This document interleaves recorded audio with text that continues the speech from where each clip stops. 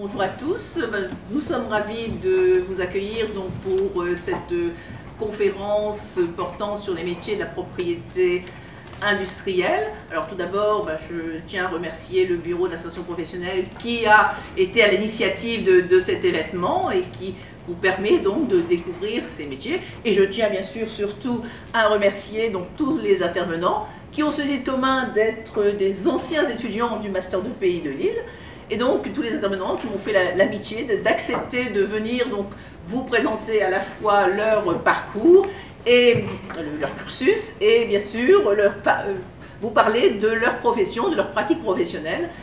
Qu'ont-ils fait? Que font-ils après le Master 2 Alors, bien évidemment, quand on s'engage dans les études de droit, en pensant au métier du droit, on envisage avocat, magistrat, notaire, pour quelques-uns huissiers, mais c'est vrai qu'on a une vue assez fermée des professions juridiques, assez restreinte.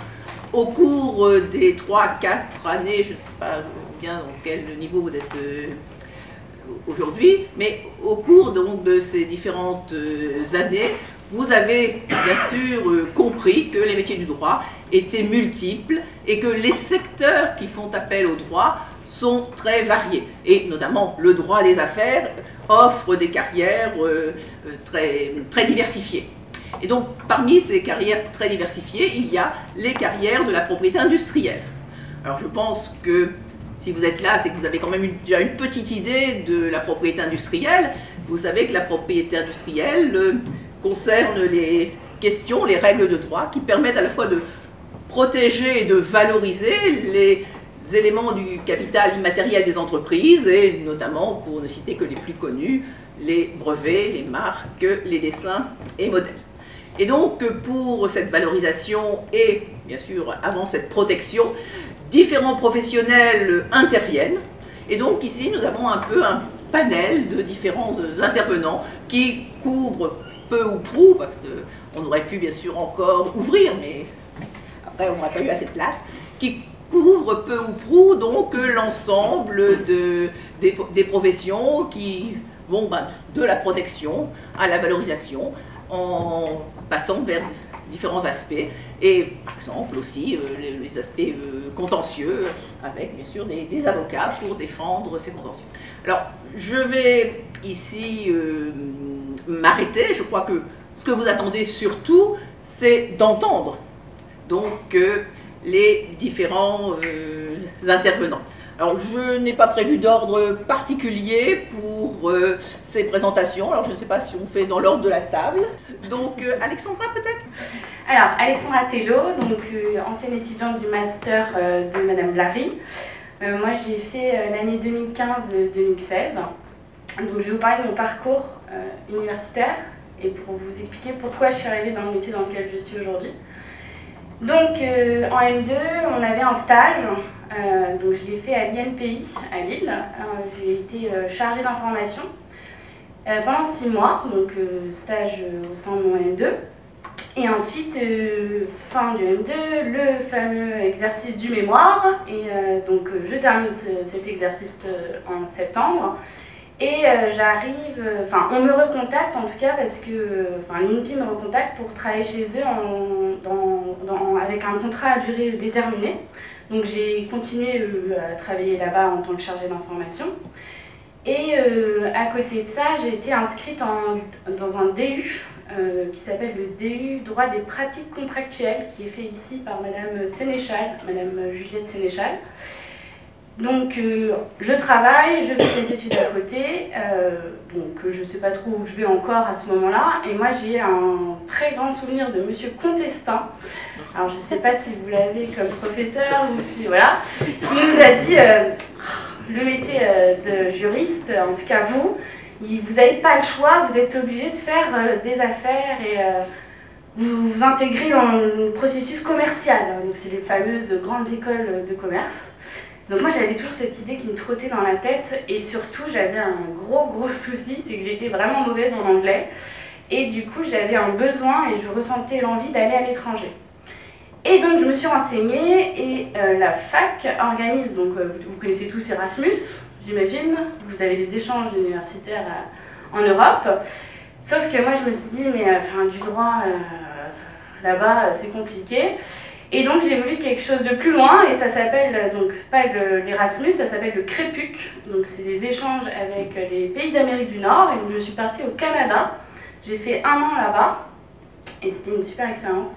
Alors euh, pour information, j'ai pas forcément fait du droit. J'ai pas fait. enfin, j'ai fait quelques matières, hein, mais euh, j'ai surtout fait euh, autre chose. J'ai fait euh, des matières type euh, entrepreneurship où on nous apprend, bah, si, vous avez la, fibre dans entrepreneurial, comment on monte une entreprise. J'ai fait euh, du consumer behavior, donc c'est tout ce qui est comportement du consommateur. Donc voilà, j'ai fait un large panel de, de matières qui n'ont rien à voir avec le droit. Et dans ce cadre d'échange de, universitaire, j'avais à la fin une obligation, c'était recommandé plutôt, enfin et aussi obligatoire, pour valider l'année, je devais faire un stage. Et donc, euh, du Canada, trouver un stage en France, c'était un peu compliqué parce que j'allais revenir. Et euh, donc, euh, coup de chance, ma sœur est babysitter auprès d'une madame qui s'appelle Madame Pouy Rioux et qui est conseil en propriété industrielle dans un cabinet à Paris. Donc, coup de chance pour moi, je dis ouais, tu peux passer mon CV s'il te plaît. Et donc, j'arrive depuis ce temps-là dans le cabinet qui s'appelle le cabinet Régimbault donc on est à Paris, euh, on est 200 personnes. Il y a donc euh, le siège, enfin, on va dire le siège social est à Paris, mais vous avez des antennes dans toute la France. Donc il y a Lyon, Grenoble, vous avez, euh, je voudrais pas dire de bêtises, mais j'y suis jamais allée, hein, j'ai hâte d'y aller. Hein. Donc c'est des agences. Et du coup, j'entre dans ce domaine de, de, de, la profession qui est le conseil en propriété industrielle. Alors, je ne sais pas si vous connaissez, si vous en avez déjà entendu parler. Donc en fait, si on fait une petite comparaison avec les avocats, euh, en fait c'est la même chose, sauf qu'à euh, l'inverse, on ne peut pas plaider. on ne peut pas aller devant, euh, devant le tribunal. Enfin pour moi. Hein. Après, donc c'est un métier qui est une profession réglementée par le code de l'API. Donc on a un super paragraphe dans le code qui dit qu'est-ce que c'est que le CPI. Alors je suis allée chercher la définition parce que forcément, article qu'on va citer. Euh, donc c'est le métier de conseil. En fait, on fait du conseil, de l'assistance, de la représentation des tiers. Les tiers, c'est les clients. En vue d'obtenir, maintenir, exploiter ou défendre des droits de propriété intellectuelle, des droits annexes et droits portant sur toute question connexe, y compris en ce qui concerne les consultations juridiques et la rédaction de contrats.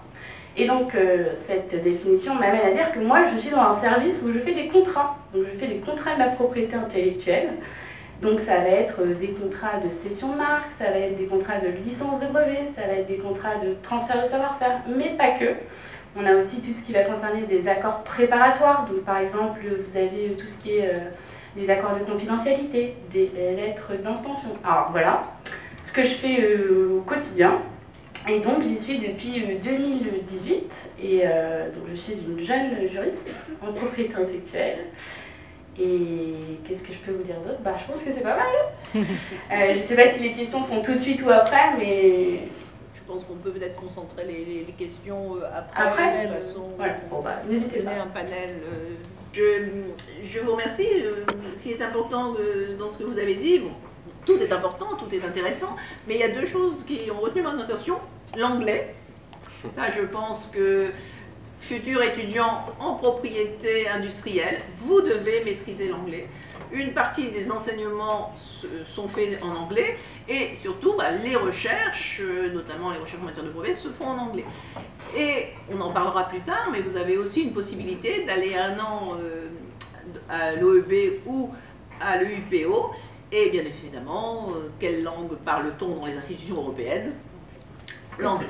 Donc la première chose, c'est vraiment travailler l'anglais, c'est essentiel en droit des affaires en général, de toute façon, et en pays en particulier.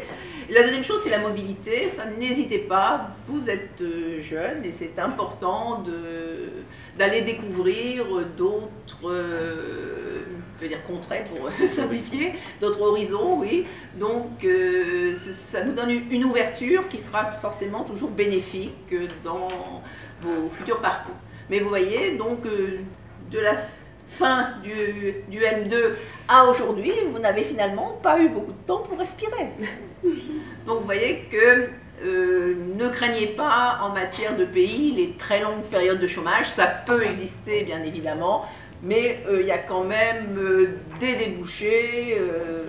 Aujourd'hui, beaucoup en CDD au sortir du, du, M2, mais il y a des débouchés et notre taux d'insertion professionnelle avoisine les 93%. C'était même un peu plus, 93%. Donc vous voyez que c'est quand même un beau taux d'insertion professionnelle. Donc il y a de l'avenir pour vous dans la pays. C'est également ce que Madame Duval, Véronique, va nous présenter. Euh, oui, en effet, parce que moi non plus, j'ai pas chômé. Euh, alors moi, j'ai fait le M2 euh, pays dirigé par Madame Larry il y a un petit peu plus longtemps, il y a 13 ans maintenant. donc je, je, suis arrivée à Lille exprès pour, pour ce master, j'étais en Normandie avant ça. Donc j'ai fini mon master M1-M2 à Lille. Euh, dans le cadre de ce Master de pays, j'ai réalisé mon stage en alternance au sein du groupe 3SI, plus connu sous le nom de 3 Suisse, euh, qui à l'époque était encore euh, à peu près vivant. voilà, 13 ans se sont passés. donc un stage en alternance au sein de la maison mère, donc ça veut dire qu'on ne s'occupe pas que d'une société, mais de l'API de l'ensemble des sociétés d'un groupe, en l'occurrence qui couvrait euh, pas que la vente à distance comme le nom peut éventuellement vous laisser croire, mais aussi des questions logistiques de, transport, euh, euh, de, de, centres d'appel, enfin voilà, des problématiques diverses. Donc un stage assez axé sur l'API et la gestion des portefeuilles, notamment de marques. Mais aussi pas mal de contentieux dans le cadre de ce stage parce que trois Suisses en mauvais élèves a fâcheuse tendance à la contrefaçon. Donc euh, je me suis retrouvée à gérer aussi euh, des contentieux, évidemment avec l'aide de conseils en propriété euh, industrielle et ou d'avocats. Mais voilà, c'est un stage qui a duré plusieurs mois, de mémoire huit mois, parce que j'ai rempilé un petit peu après, après la fin de, de l'année de M2. Et à l'issue de ce stage, j'ai très vite été recrutée dans un cabinet d'avocats parisien le cabinet de Gaulle Florence et Associés, euh, qui euh, est un cabinet assez généraliste, mais aujourd'hui très très bien implanté, notamment en propriété intellectuelle et industrielle, et qui a un pôle dédié à cette question-là. Donc je l'ai intégré en tant que juriste. ça veut dire que j'accompagnais les avocats en propriété intellectuelle, mais aussi que je m'occupais de la gestion des portefeuilles des clients les avocats en général, enfin en tout cas dans des structures telles que le cabinet euh, de Gaulle, qui est une grosse structure, ne font pas la gestion administrative des portefeuilles et délèguent ces tâches-là à des juristes. Euh, donc ça veut dire s'occuper de toutes les formalités en matière de dessin et modèle et de marque en l'occurrence. Donc euh, dépôt, renouvellement, recherche d'antériorité évidemment, inscription en tout genre. voilà, je suis restée un an au sein de ce cabinet d'avocats. Il se trouve que deux mois après mon arrivée dans ce cabinet d'avocat, la Société 3 Suisse m'a rappelé euh, pour que euh, je prenne un poste qui n'existait pas quand je suis partie de mon stage, à savoir un poste de responsable pays dans le service juridique. Donc euh, après deux mois d'expérience professionnelle, ça me semblait un petit peu ambitieux. Donc je leur ai demandé de m'attendre gentiment, euh, le temps que je me forme un petit peu plus euh, au sein de ce cabinet. Ils ont eu l'amabilité de m'attendre. Donc je suis restée un an à Paris et je suis retournée dans mes pénates nordistes. Et je suis restée au sein du groupe 3 Suisses pendant 7 ans en tant que responsable propriété intellectuelle et industrielle. Donc ça a consisté en l'internalisation globale de la gestion des portefeuilles de marques, mais également de noms de domaine. Euh, parce que forcément, en tant que société de vente à distance, euh, les noms de domaine ont une importance capitale. Euh, donc, et beaucoup de contentieux, beaucoup de, ce genre de choses-là. Donc à nouveau, beaucoup de gestion administrative, mais aussi du conseil aux opérationnels en interne, sous toutes sortes de questions diverses et variées. C'était pas un service juridique extrêmement staffé. Donc certes, on est spécialisé dans un domaine, mais on est forcément amené à traiter d'autres questions plutôt euh, enfin, voilà, dans, dans, le droit des affaires hein, de manière générale. Hein, je ne suis jamais sortie vraiment de, ces, de, ce domaine-là. Euh, mais voilà, la mission pays, euh, très axée gestion de portefeuille et conseil en, enfin, pour les communications, etc. Et il y a maintenant 4 ans et demi, j'ai eu l'opportunité d'intégrer le service juridique du groupe ARC, peut-être plus connu pour certains d'entre vous qui seraient nordistes sous le nom de la cristallerie d'Arc. C'est une des dernières industries verrières de France, une des plus grosses. C'est un site qui, enfin c'est une entreprise et un groupe qui emploie 10 000 personnes dans le monde. 5000 à Saint-Omer, donc autant vous dire que c'est important. Euh, on a des usines implantées euh, sur chaque continent. Et donc on fait de la verrerie, euh, des arts de la table et un petit, peu, un petit peu de décoration aussi et des hublots de machines à laver, pour parler très concrètement. Eh oui, donc voilà, j'ai intégré ce service il y a 4 ans et demi au moment du rachat de l'entreprise, du refinancement. On était 5 juristes à l'époque pour l'entièreté du groupe. Et j'étais seule pour la propriété industrielle. Donc ça veut dire là en l'occurrence la gestion de marque, beaucoup, beaucoup de dessins et modèles essentiellement. Et petit à petit depuis mon arrivée, de la gestion de brevets aussi. Alors je ne suis pas ingénieur, je suis pure juriste. Euh, mais dans le cadre de mon métier, j'accompagne les équipes R&D euh, et, les, et, les, équipes euh, dirigeantes dans le la valorisation, la protection des innovations vraiment industrielles et de l'outil, des machineries, etc. de, de l'entreprise. Accompagné également de, de, conseils en propriété industrielle parce que je ne suis pas ingénieur et que la mécanique a beaucoup de secrets pour moi. Et euh, voilà, mais ça, je fais l'intermédiaire pour cette partie-là avec le, conseil en propriété industrielle. On va dire que je vulgarise les aspects procéduraux euh, pour euh, des équipes qui ne sont pas du tout, pas du tout juridiques. Donc voilà, aujourd'hui, ce que je fais, et je fais ça accompagné d'une personne maintenant. Donc on est deux pour, pour cette gestion internationale. Et donc je rebondis à nouveau sur ce que Madame Larry vous disait, l'anglais est indispensable. Aujourd'hui, à 90% de mon temps, je travaille en anglais, que ce soit à l'écrit ou à l'oral. Effectivement, les recherches de brevets se font en anglais. Dans le cadre de mon métier, j'en fais pas beaucoup, mais j'en fais, même si elles sont beaucoup déléguées au conseil en pays avec lequel on travaille. Mais il n'en reste pas moins que quand vous travaillez dans des groupes comme celui-là, vous n'avez pas d'autre choix que de travailler en anglais parce que je ne parle pas japonais, chinois, etc. Donc euh, je travaille avec des agents de partout dans le monde parce que nos portefeuilles de marque et de design sont déposé partout dans le monde, donc nécessairement il faut trouver une langue commune, et l'anglais est évidemment celle-ci. Voilà pour ce qui me concerne. Je passe la main. Merci beaucoup. Merci beaucoup pour cet euh, éclairage. Et ici aussi, si on veut juste euh, faire une toute petite remarque, on voit la diversité des, hum, des professions que vous avez pu quand même euh, exercé donc avant d'arriver à, ce poste, je vais dire prestigieux quand même, hein, très prestigieux. Et, et donc voilà, c'est important de voir la diversité des, expériences pour se, pour, se former, euh, c'est essentiel. Euh, ce qui est peut-être aussi tout à fait intéressant à relever, et là c'est mon aspect enseignant en droit des brevets, c'est de, vous expliquer, on l'explique euh, tous les ans. Généralement, le juriste, l'étudiant a peur du droit des brevets. On lui dit, il se, dit le brevet c'est pas pour moi, le brevet c'est trop technique. Alors bien évidemment, il faut avoir conscience que s'il s'agit de reproduire une invention, il vaut mieux avoir des compétences techniques. En revanche, le brevet c'est aussi un document juridique. Et donc c'est cet aspect juridique que, le juriste va euh, exploiter. Et c'est aussi, comme vous l'avez indiqué, vraiment faire le lien entre les équipes et les services. Et là, c'est vraiment un vrai rôle du, juriste en entreprise, en pays, de faire le lien entre bah, les services, le, marketing ou tous les, services qui vont, euh, euh, recherche-développement, qui vont vous proposer des produits, le conseil en, pays qui bien sûr euh, sera essentiel pour la rédaction finale du, titre et pour, pour, bien sûr gérer les procédures, et puis l'avocat au, cas où un problème contentieux apparaîtrait voilà, donc c'est important de ne pas se fermer à aucune des parties de la propriété industrielle et notamment ne pas vous fermer euh, au brevet.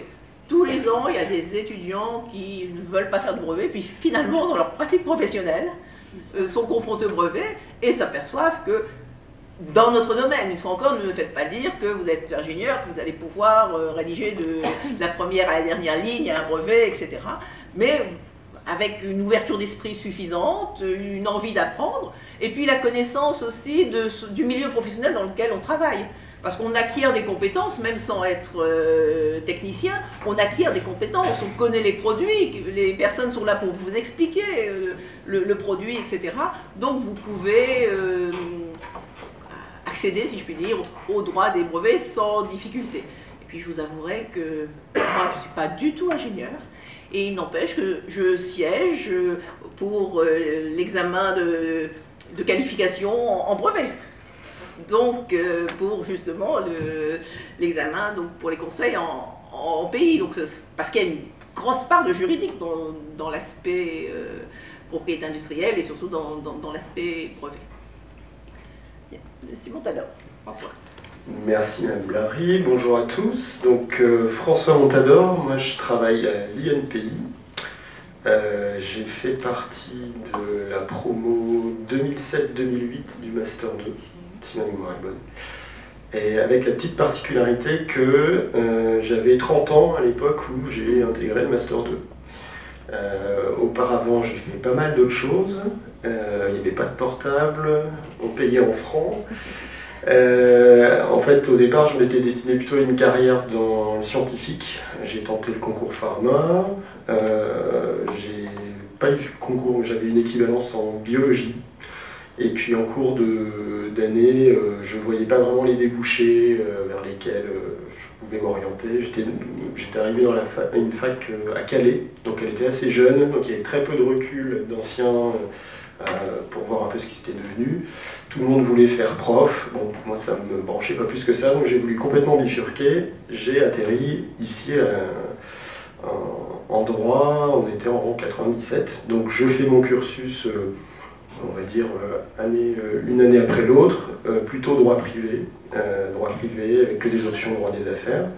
Et arrivé en cinquième année, j'ai fait à l'époque, on appelait ça un DESS, un bac plus 5 en fait qui se faisait à la fac de pharma, qui était dans les affaires réglementaires. Les affaires réglementaires, en gros, c'est tout ce qui permet l'obtention des autorisations de mise sur marché de médicaments.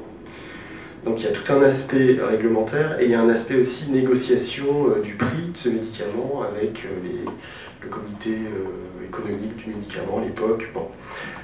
j'ai fait ce, ce master, enfin c'était pas un master à l'époque, on parlait de DESS, mais derrière je n'ai pas trouvé de débouché concret pour un, juriste. en gros, j'étais le seul juriste, non on était deux, pardon, sur une promo de 60, tous les autres étaient pharmaciens ou médecins.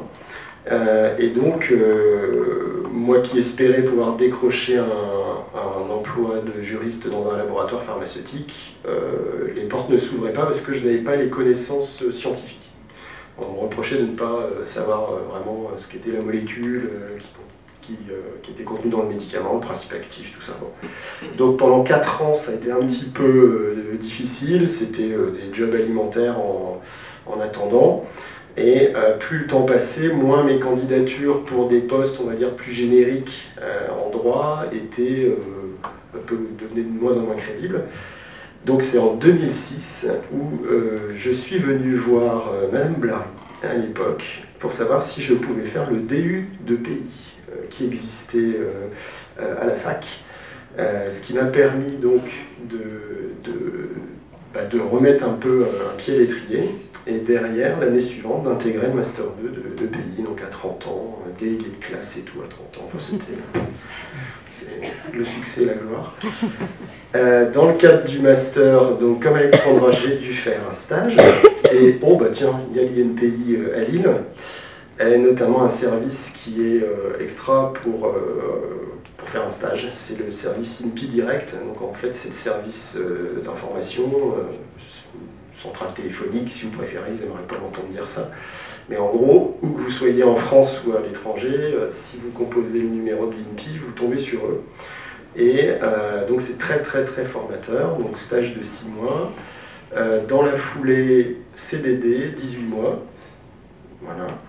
Et après, moi, ce qui s'est passé, c'est qu'à la toute fin de ce CDD, en interne, s'ouvrait un poste en CDI, mais au siège à Paris à l'époque, pour être juriste rédacteur au sein de la revue PIBD, que vous connaissez peut-être euh, à la BU. donc j'ai pu postuler, j'ai été pris. Alors la petite contrainte que j'avais, c'est que j'habitais Lille, j'habite toujours Lille, et donc tous les jours je devais faire aller-retour Lille-Paris. parce que marié, avec des enfants, mon épouse qui est notaire, donc pas question de faire déménager tout le monde. Donc j'ai fait ça pendant deux ans. Euh, mais je vous avoue qu'au bout de deux ans, quand j'ai appris qu'à Lille se créait un poste de juriste pour euh, une direction euh, au sein de l'INPI qui est décentralisée à Lille, qu'on appelait à l'époque la, direction des registres et des titres, bon, moi j'ai sauté sur l'occasion.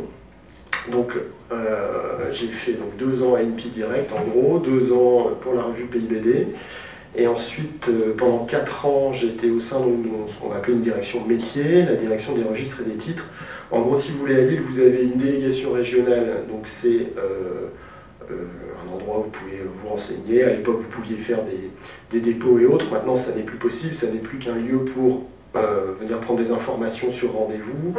Et les chargés d'information qui y travaillent sont plutôt devenus des chargés de promotion de l'API, c'est-à-dire qu'ils vont plutôt en entreprise pour en gros sensibiliser les, entrepreneurs sur l'intérêt de protéger leur, leur création, leurs innovations. Euh, mais donc, à côté de cette délégation régionale, vous avez dans le bâtiment quasiment une centaine de personnes qui travaillent sur l'île au sein de l'INPI. Différents services donc, sont, décentralisés euh, du siège qui est aujourd'hui à Courbevoie euh, et qui sont donc à Lille. Essentiellement, c'était les services qui appartenaient à cette direction des registres et des titres. En gros, ce sont toutes les procédures de maintien en vigueur des titres de propriété industrielle. Parce qu'en fait, on parle souvent de l'aspect dépôt de, titres, déposer une marque, un brevet, etc. etc.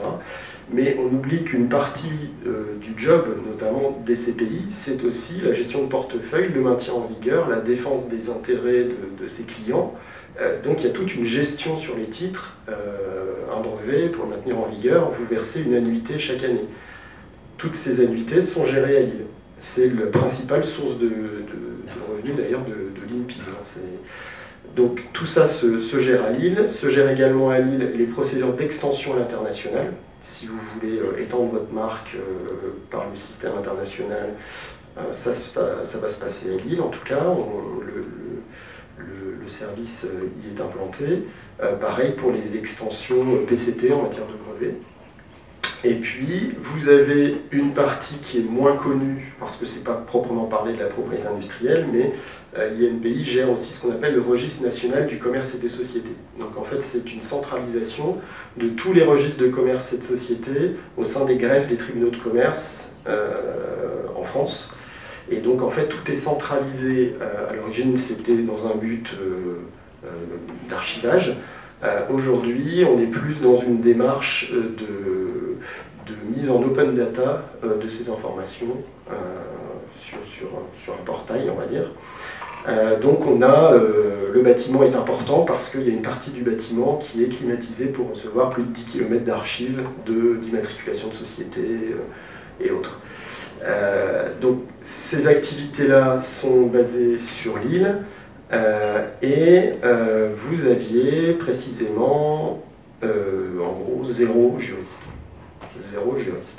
Donc sur place, ils se sont dit ce serait quand même bien qu'il y ait un juriste euh, qui puisse au moins nous donner une première approche, une première analyse quand on a des questions, qu'on ne soit pas obligé de solliciter systématiquement le, siège. Euh, donc le poste a été créé en 2012 euh, et donc bah, très vite je me suis aperçu de la variété des questions. donc c'est intéressant et comme disait Mme Blary, en gros euh, ben, vous êtes forcé de vous pencher sur les brevets, même si c'était pas votre tasse de thé à l'origine. Et au final, ben, c'est plus, comme vous le disiez justement, un échange en fait avec euh, ben, les, praticiens, euh, les ingénieurs, qui font que, bon, au final, vous comprenez avec vos propres mots, vous arrivez à vous, à vous comprendre. et c'est quand même très intéressant. Euh, et puis donc, j'ai exercé ce poste pendant 4 ans, et en 2016, il y a eu une réorganisation au sein de, l'Institut, suite à un changement de direction. Euh, ils ont créé une direction juridique et financière. Et là, en fait, euh, ils m'ont intégré dans cette direction, mais en me demandant de rester basé sur l'île pour continuer à, on va dire, soutenir bah, les, les, équipes, les équipes lilloises.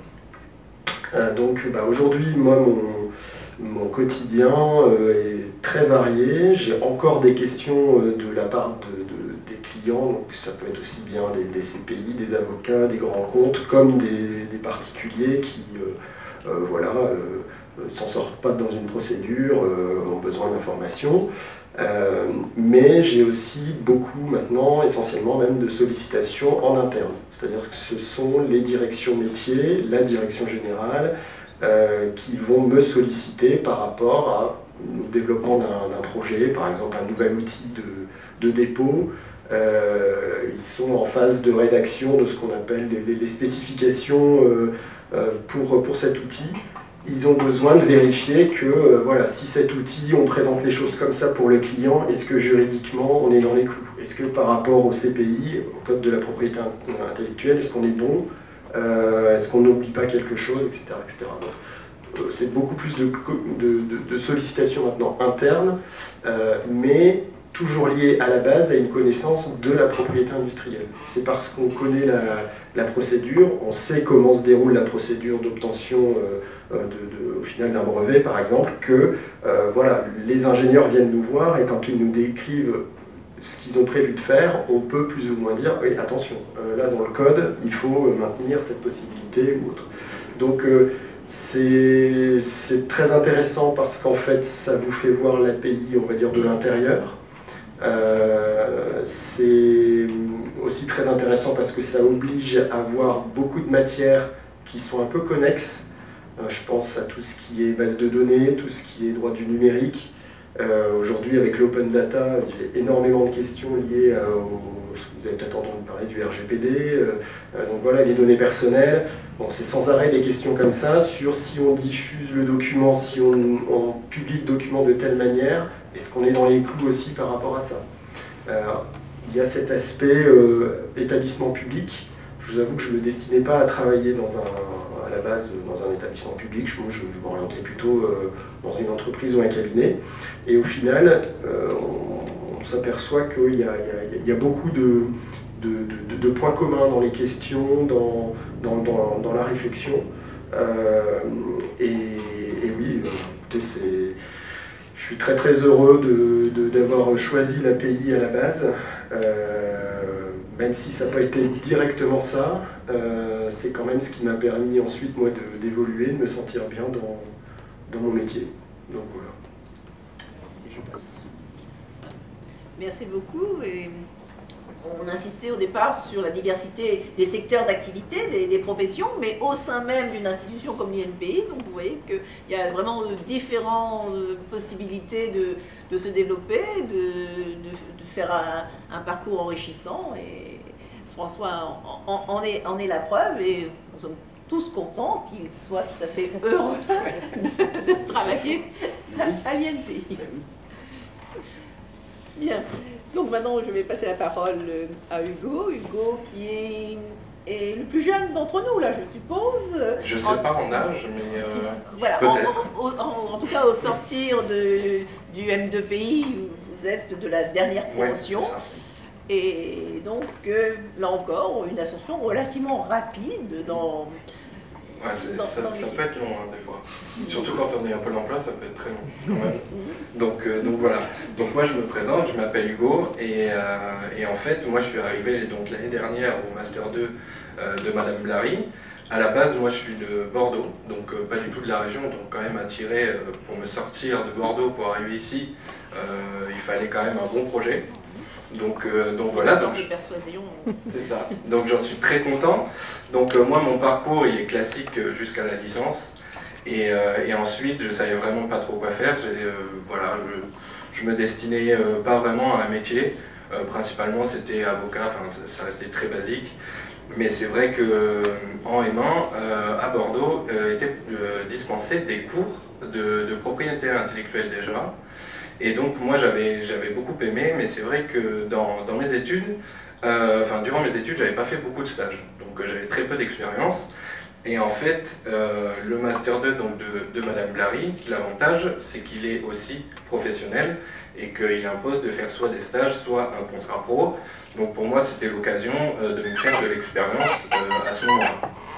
Donc en arrivant ici, il, y a eu une offre d'une entreprise qui cherchait donc un, juriste. Et, donc j'ai postulé, j'ai eu ce, contrat pro d'un an au sein de la SAT. Alors je ne sais pas si vous connaissez, mais c'est une entreprise qui se charge des innovations des universités donc, de la région pour l'emmener jusqu'aux grandes, grandes, entreprises. Pardon. Et, donc voilà, moi je me suis fait euh, mon expérience dans l'innovation, et c'est vrai que j'y ai pris beaucoup euh, goût, et donc j'ai fait mon mémoire sur ce même sujet, sur euh, l'innovation. Et sauf que je n'ai pas été repris donc, dans, cette, dans cette entreprise, donc je suis parti en recherche d'emploi. alors j'avais très peur que ce soit très long, finalement ça a été juste long, donc, euh, donc ça va. Vous exagérez un peu là. Hein, euh, je sais pas. Les statistiques actuelles, euh, à moins de 6 mois, trouver quelque chose. C'est vrai, c'est ce qu'on m'a toujours dit. Non, c'est très très rapide. Mais je, pour rester dans la région, quand même, je, trouvais ça Mais, et donc, j'ai postulé en premier lieu pour le groupe Holder. Et là, je vais rebondir sur, sur le besoin d'avoir un bon niveau en anglais. Euh, c'était un super poste, j'ai été super pris, mais je parlais super pas bien anglais. Donc du coup, euh, j'ai pas été pris. Donc euh, de là, j'ai commencé à prendre des cours en anglais pour essayer, dans un éventuel autre entretien, d'être meilleur à ce niveau-là.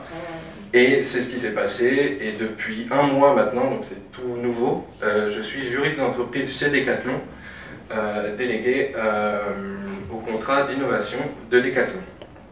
Alors ensuite, pour essayer de changer un petit peu, euh, j'avais fait une présentation, mais je vais vous montrer euh, les points positifs du juriste d'entreprise et les points négatifs, parce que aussi il y en a. Donc euh, les points positifs, j'ai noté le rôle de transmetteur, on est au contact de, tout, de diverses personnes au sein de l'entreprise. C'est un travail varié et on est souvent amené à dépasser sa fonction. Euh, donc ça c'est vrai que au départ je ne l'imaginais pas, mais c'est quand même le cas. Et on est très peu souvent cantonné à sa spécialité, c'est en perpétuel renouvellement. Le statut de cadre aussi c'est important, la rémunération aussi. Euh, la gestion autonome de ses heures qui est possible. Donc ça c'est vrai que c'est un, un, bon plan. Le télétravail qui se développe de plus en plus dans les entreprises, et ça c'est vrai que c'est un métier qui peut le permettre. Et aussi, le juriste d'entreprise, il faut le savoir, et moi je l'avais appris l'année dernière, c'est qu'on peut passer par la voie interne vers la profession euh, d'avocat. Euh, une fois qu'on a, je crois c'est 7 ans, il me semble, d'expérience. Et en point négatif, alors j'ai noté le manque d'attrait de la matière par certains opérationnels avec qui on travaille, donc il faut être en perpétuelle éducation juridique à ce moment-là et, faire attention. Euh, on est souvent un peu mal perçu dans l'imaginaire collectif du droit, alors qu'on a quand même euh, un poste central dans les entreprises. On souffre souvent de la comparaison avec les avocats, alors qu'on fait quand même euh, plus ou moins le même métier. Et, on est trop souvent sollicité en, fin de projet. donc moi, là, je parlais pour, pour l'innovation. Donc voilà. Merci beaucoup il, est vrai, que le juriste, encore aujourd'hui, c'est un peu l'embûcheur de son enfance, on, le sait tous, on l'a tous plus ou moins ressenti, mais je pense quand même qu'il y a une grande évolution, et la pays y contribue, une grande évolution dans la perception du, juriste. Aujourd'hui, même si euh, de votre côté l'expérience n'est peut-être pas euh, probante de ce, point de vue-là, de plus en plus dans les grandes entreprises, on, intègre le juriste dans, la réflexion, voire euh, on le consulte avant. Mais c'est vrai que ça n'est pas l'image qu'on avait du juriste auparavant, qui était plutôt là bah, pour venir euh, éteindre le feu qui avait été mis par les autres services. On ne consultait pas le service juridique et puis après il fallait euh, rattraper les choses. Et euh, rattraper les choses, c'est aussi au travers de la profession d'avocat. Donc ça me donne une belle transition pour donc intervention, Martin. Bonjour à tous, donc euh, je m'appelle Martin, euh, je suis avocat, on nous reconnaît assez facilement parce qu'on est les seuls qui portent encore des cravates. voilà. Euh, mais oui, donc j'ai fait le master 2 de madame le professeur la même promotion qu'Alexandra, donc 2015-2016. Euh, j'étais à peu près déjà sûr que je voulais être avocat quand j'ai fini ma licence, à peu près.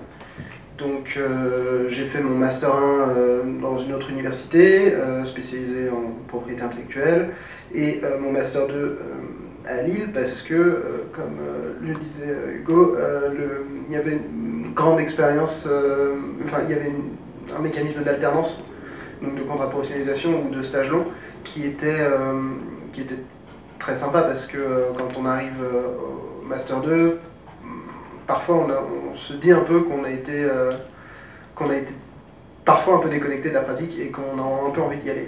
Donc du coup l'alternance c'était c'était très bien. J'avais fait un petit topo, alors je sais pas si cela va sans dire, ça ira mieux en le disant, sur comment on devient avocat. Euh, le parcours euh, classique, hein, donc c'est euh, un master 1 ou un master 2, optionnel le master 2, juridique ou un diplôme équivalent. Ensuite, on passe le concours, l'examen d'entrée au CRFPA dans un IUJ, donc qui sont des instituts d'études judiciaires qui sont rattachés aux différentes universités. Donc par exemple, l'IUJ de Lille, il y en a un, c'est là où j'ai passé le CRFPA. et ensuite, on rentre à l'école des avocats ça va pas le faire se rougir. Je l'ai passé. Et, euh, et, ensuite, on rentre à l'école des avocats. Donc, euh, alors, des écoles d'avocats, il y en a une petite dizaine en France. Euh, quand on passe par un IEJ, on a une, une école qui est rattachée à l'IEJ. Donc, quand, a priori, quand on passe l'IEJ de Lille, par exemple, on est rattaché à l'IXAD, qui est l'école des avocats du nord, nord-ouest, je crois. Mais ça, c'est pas euh, obligatoire. Euh, la preuve en image, moi j'ai passé le CRFPA à Lille, mais je me suis inscrit à l'EFB, qui est l'école de formation du barreau, qui est euh, l'école des avocats de Paris.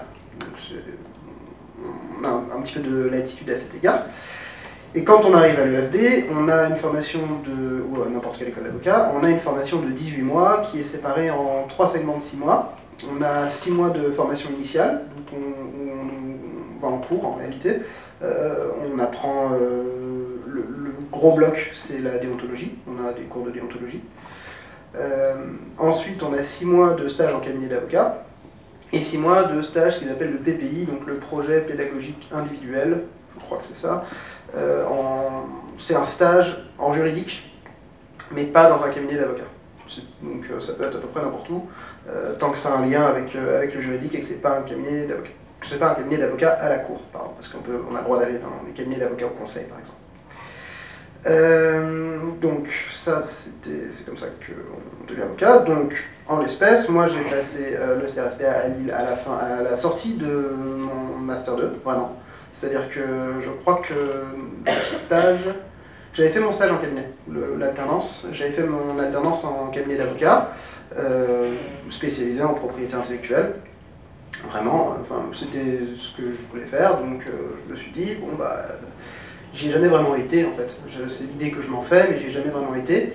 Est-ce que c'est vraiment ce que je veux faire? Donc j'ai fait mes six mois de stage euh, dans un cabinet à Paris, euh, qui s'appelle Armand Gerlin, qui est un cabinet qui fait exclusivement de la propriété intellectuelle. Ça m'a conforté dans mon idée que c'était effectivement ce que je voulais faire, ça m'a beaucoup plu. J'ai passé six mois très enrichissants. Il y avait un espèce de rebond entre ce qu'on voyait en cours, ce qu'on faisait au cabinet. Et ça, c'était super parce que du coup, ce qu'on apprenait en cours était beaucoup plus concret. Et on avait l'impression d'avoir une, de, faire une double progression en fait quand on était, euh, quand on était au cabinet parce que euh, on traitait nos dossiers avec en plus le, ce, côté euh, ah oui mais ça je l'ai vu en cours récemment, ah oui mais ça euh, on nous a dit qu'il y avait euh, une jurisprudence euh, un peu fluctuante en la matière. Ah oui, ça, il y a un arrêt récent qui traite de la question. Et du coup, les cours nourrissaient le, stage et le stage nourrissait les cours. Et ça, c'était un cercle vertueux qui était super. et donc, à la sortie du Master 2, j'ai passé mon été à réviser mon CRFPA. Je l'ai passé, je suis entré à l'école à l'EFB, où j'ai fait mes six mois de cours, où j'ai appris la déontologie. Et ensuite euh, est venue la recherche de stage, parce qu'on a donc les, fameux deux stages de six mois. qu'il faut réaliser dans le cadre de, l'école des avocats. Donc j'avais... Je me disais que la, pour moi, la profession qui était pas un avocat, mais qui était très complémentaire de l'avocat, c'était celle du conseil en propriété industrielle. Parce que c'est ce que tout le monde vous a dit. je me faisais une idée un peu, un peu schématique, hein, qui était euh, de, la naissance de l'idée jusqu'à l'obtention du titre de propriété industrielle, ça c'est le job du CPI. Et puis moi en tant qu'avocat, j'interviens après donc pour euh, l'exploitation, le contentieux, à partir du moment où le titre est enregistré, euh, c'est là qu'intervient l'avocat. Donc si je voulais avoir une vision un peu transversale la chose, c'était bien de savoir comment fonctionnaient les, les CPI. Enfin dans ma thèse c'était comme ça. Et j'ai cherché à faire un stage dans un cabinet de CPI.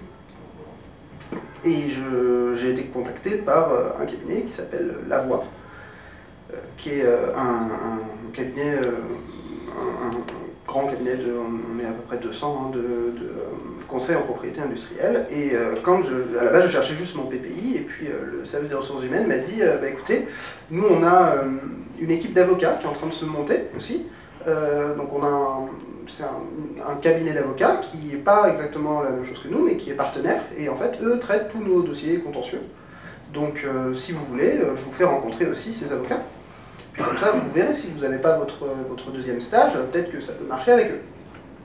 Il s'avère que ça a marché avec les deux. Donc j'ai fait mon stage PPI euh, avec leur conseil en propriété industrielle, et j'ai fait mon stage final avec les avocats. Donc j'ai passé un an chez La Voix, et à la fin de mon stage final, donc ça c'était euh, en 2018, en juin 2018, euh, les deux cabinets ont fusionné.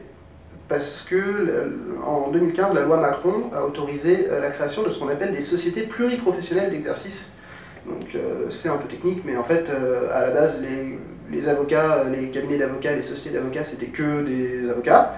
Et depuis la loi Macron, on autorise des sociétés euh, mixtes. Donc en fait, euh, nous, on est il y, en a trois en France, hein. on est une des trois sociétés euh, où on a à la fois des avocats et des conseils en propriété industrielle sur une seule, sous une seule et même casquette en fait. Donc on est inscrit à la fois au barreau et à l'équivalent du barreau pour les conseils en propriété industrielle qui s'appelle la Compagnie nationale des CPI. On, est inscrit aux deux. Et ce qui m'amène à mon travail aujourd'hui. Donc moi je suis avocat en propriété euh, intellectuelle et je fais essentiellement du contentieux, donc euh, dans toutes les matières, que ce soit en brevet, marque, dessin modèle, droit d'auteur, les droits satellites aussi, donc euh, tout ce qui est concurrence déloyale, parasitisme, tout ça, données personnelles, on en fait aussi un petit peu. et je rebondis un peu sur, sur ce qu'on disait avant, c'est-à-dire que les étudiants ont vite peur des brevets. C'était mon cas.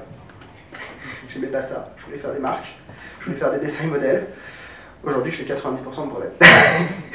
Euh, et euh, mais avec, euh, avec beaucoup de plaisir, parce que j'adore ça et je, me suis un peu. on fait un peu de tout, mais j'ai trouvé un vrai attrait à la matière. Et je suis, très content de faire beaucoup de brevets parce que c'est ce qui m'intéresse le, plus. même si j'aime beaucoup faire des marques, j'aime beaucoup faire du droit d'auteur, tout m'intéresse, mais, mais j'avoue que le, le, brevet, ça me, ça me, plaît beaucoup. Euh, donc on, a, a, il y a beaucoup d'avantages, je trouve, à, la profession d'avocat, qui est que c'est un métier qui est assez riche et varié. On fait plein de choses, tout le temps. Parce que le client, il vient nous voir, il nous demande des choses, et puis euh, on lui dit oui, souvent. On lui dit qu'on va, faire en sorte qu'il soit content. Euh, et euh, on a cette espèce de relation euh, avocat-client en fait qui, je trouve, entretient un peu notre culture de, l'exigence. C'est-à-dire que du jour au lendemain, on est obligé, obligé d'être toujours de répondre à un certain niveau d'exigence, qui fait que sinon le client il, va voir quelqu'un d'autre. Donc on est un prestataire comme un autre, après tout, on n'a rien de spécial. Hein. Donc voilà. C'est un côté extrêmement international, contrairement à ce qu'on peut croire parce que euh, notamment quand euh, on fait du, contentieux en, brevet, euh, on a beaucoup de clients qui ne sont pas français. On a beaucoup de contentieux qui ne sont pas uniquement français aussi. On a l'impression que l'avocat, il est en France, et puis il est devant son tribunal français, donc il écrit en français, voilà. Mais en fait, on, constitue souvent des équipes, en fait, c'est-à-dire que le client, il a, il a un, contentieux sur son brevet, son concurrent est, pas, est, pas, souvent pas actif qu'en France, donc a une procédure en France, puis il a une procédure en Italie, puis il a une procédure en Angleterre, puis il a une procédure en Allemagne, tout ça en parallèle. Et donc il faut s'inscrire dans une espèce de grande machine internationale qui fonctionne pour gérer le, litige un peu, un peu partout. Donc on a quand même une, vraie dimension internationale à notre travail, qui est sympa. Et euh, on a beaucoup de travail en équipe aussi, du coup, par, ce genre de choses. Et euh, aussi parce que ce qu'on disait, euh, le brevet, c'est un document juridique, mais c'est aussi un document technique, et euh, nous, on n'a pas la moindre idée de comment ça fonctionne, la technique, donc euh, il faut qu'on nous l'explique. Et on a euh, des gens qui sont très bien, qui sont les CPI, les ingénieurs brevets, qui ont rédigé le brevet, qui savent comment ça fonctionne, qui connaissent le client, qui connaissent son marché, ses produits, son métier, et qui nous expliquent, qui nous disent, bah voilà, ça, le brevet il est rédigé de telle manière parce qu'on cherchait à euh, protéger euh, tout ce type de produits-là qui existe sur le marché, et pas seulement une partie de ces produits-là. donc c'est important que, que, vous le compreniez, et, parce que ça, dicte la manière dont on rédige nos conclusions, dont on rédige nos contrats, dont on rédige tous les documents qu'on rédige. Et nous, on a de la chance chez, chez donc le cabinet où je suis encore aujourd'hui, euh, parce que on, est, euh, ce que je vous expliquais, on est dans cette, euh, dans cette société un peu mixte là, avec des, ingénieurs brevets et des avocats. Donc quand j'ai mon brevet et que je le lis et que je ne le comprends pas et que je le relis et que je ne le comprends toujours pas et qu'au bout de six fois j'ai toujours pas compris, et eh ben je descends trois, étages, je frappe à la porte de l'ingénieur qui l'a rédigé et je lui dis écoute là je comprends pas, explique-moi comment ça marche. Quoi. Et ça c'est un vrai confort de travail. C'est c'est super, euh, super enrichissant d'avoir de, des gens qui, viennent de différentes formations, parce qu'ils sont tous ingénieurs, ils sont pas du tout juristes à la base, euh, contrairement à, nous qui sommes juristes et pas du tout ingénieurs. Et on a beaucoup à apprendre euh, les uns des autres en fait. C'est-à-dire qu'ils nous apprennent souvent, souvent plein de trucs et on, on, espérer qu'on leur apprend parfois aussi deux, trois choses. Mais c'est souvent dans l'autre sens quand même. Donc euh, voilà, je pense que j'ai à peu près fait le, tour. Oui. C'est, un exemple peut-être de contentieux sans sur Alors un exemple de contentieux, on a eu un contentieux euh, récemment où c'était une action en euh, revendication de brevet. Donc on avait notre client qui travaillait avec un prestataire externe dans le domaine de la, de la, de la chimie. Il travaillait avec un prestataire externe pour développer ses produits et il, lui avait des, formules et des, idées de, composés qui pourraient peut-être marcher pour atteindre le but qu'il souhaitait, le but recherché, mais il avait besoin de quelqu'un les teste. Donc c'était une société américaine et elle avait euh, recours au service euh, d'un laboratoire français euh, qui faisait tous ces tests pour elle. Donc c'est simple. Hein ils avaient signé un, accord de confidentialité en disant voilà, moi je vous transmets euh, tels euh, échantillons, vous, voulez tester selon votre méthode que vous, vous connaissez, vous me transmettez les résultats. Très bien. Ils travaillent, ils travaillent, ils travaillent, et puis euh, moment ils arrêtent de travailler ensemble. Et notre client continue à faire la recherche, il dépose un brevet, et il reçoit une assignation de la société française qui lui dit mais attendez, est-ce que vous avez mis dans votre brevet là? C'est ma méthodologie, donc c'est à moi. Et euh, en plus, euh, euh, c'était couvert par notre accord de confidentialité, donc vous n'avez pas le droit de le divulguer. Or, quand on dépose un brevet, par définition, on divulgue. Donc, déjà, le brevet est à nous, et ensuite, vous nous devez énormément d'argent parce que vous avez divulgué notre, notre savoir-faire qui était confidentiel, donc vous allez payer. Donc, nous, on s'est retrouvés à défendre notre client américain à étudier euh, les contrats, les travaux qui avaient été euh, réalisés par euh, l'une et par l'autre des parties, et, à conclure au fait que, là on a fait un peu une pirouette, on a conclu au fait que la, les tribunaux, on a été assigné à Paris et on a conclu au fait que les tribunaux parisiens n'étaient pas compétents parce que l'accord de confidentialité désignait un autre tribunal. et ça a marché. Donc, donc voilà, donc ça, mais c'est typiquement le, type de, dossier qu'on est amené à traiter. ça, ou alors des dossiers de choses un peu plus classiques, du style, excusez-moi, moi j'ai une marque pour tel produit, et puis vous utilisez un signe qui est qui est trop similaire au mien pour des produits qui sont trop similaires aux, miens. Donc en fait, c'est de la contrefaçon. Et donc on se retrouve à contester euh, la similarité entre les signes, la similarité entre les produits et les services en disant non mais attendez, euh, je reproduis pas votre marque, c'est pas de la contrefaçon, ou alors euh, je reproduis peut-être votre marque mais mes produits n'ont rien à voir avec les vôtres, donc du coup c'est pas de la contrefaçon. ou alors, oui bon d'accord c'est de la contrefaçon mais j'ai absolument rien vendu donc vous avez subi aucun préjudice donc je vous paierai rien. On a plein de, on a plein d'arguments qu'on articule et ça c'est un, côté assez sympa aussi du métier, c'est il faut faire preuve d'imagination tout le temps et, euh, c'est très, très agréable. Bien, merci beaucoup pour ce retour d'expérience qui montre là encore combien euh, toutes les professions sont, passionnantes. Euh. et donc, maintenant, c'est Anne-Charlotte qui va nous parler un peu à la fois de son parcours et de sa pratique professionnelle depuis, bah, là, depuis la sortie de votre master. Vous avez été embauché, si, mes souvenirs sont bons, euh, après votre stage et vous êtes toujours dans la même structure. Pas trop de rebondissements dans ma carrière. Ah, donc j'ai la promo 2011-2012. C'est promo 2011-2012 et euh, c'est vrai que je me souviens que c'était une année euh, très très dense entre les, les, cours, les examens, le mémoire, le stage. C'était vraiment très intense. Et euh, bon, bah, comme beaucoup d'autres de ma promo, j'étais en galère de stage.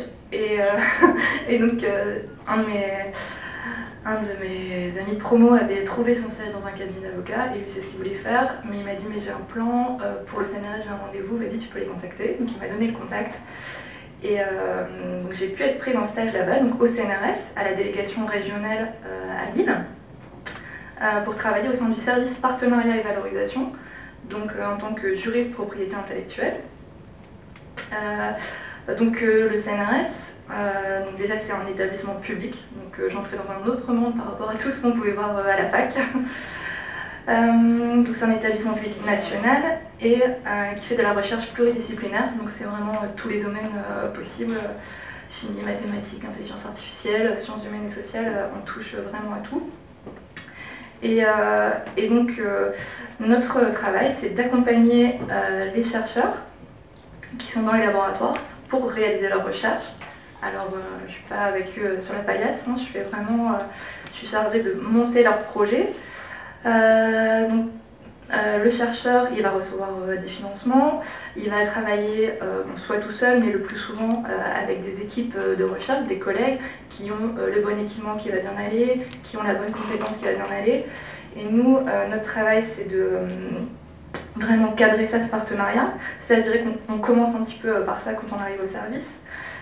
L'étape d'après, c'est que alors le chercheur il va aussi travailler avec des industriels, donc plutôt avec des sociétés pour ça c'est très très riche parce que la société va dire ben, moi j'ai cette contrainte, enfin, pour reprendre l'exemple du, du, hublot, voilà, il faut qu'il soit plus costaud, il faut qu'il soit de la bonne dimension, il faut qu'il ait telle caractéristique pour que ce soit moins cher par exemple.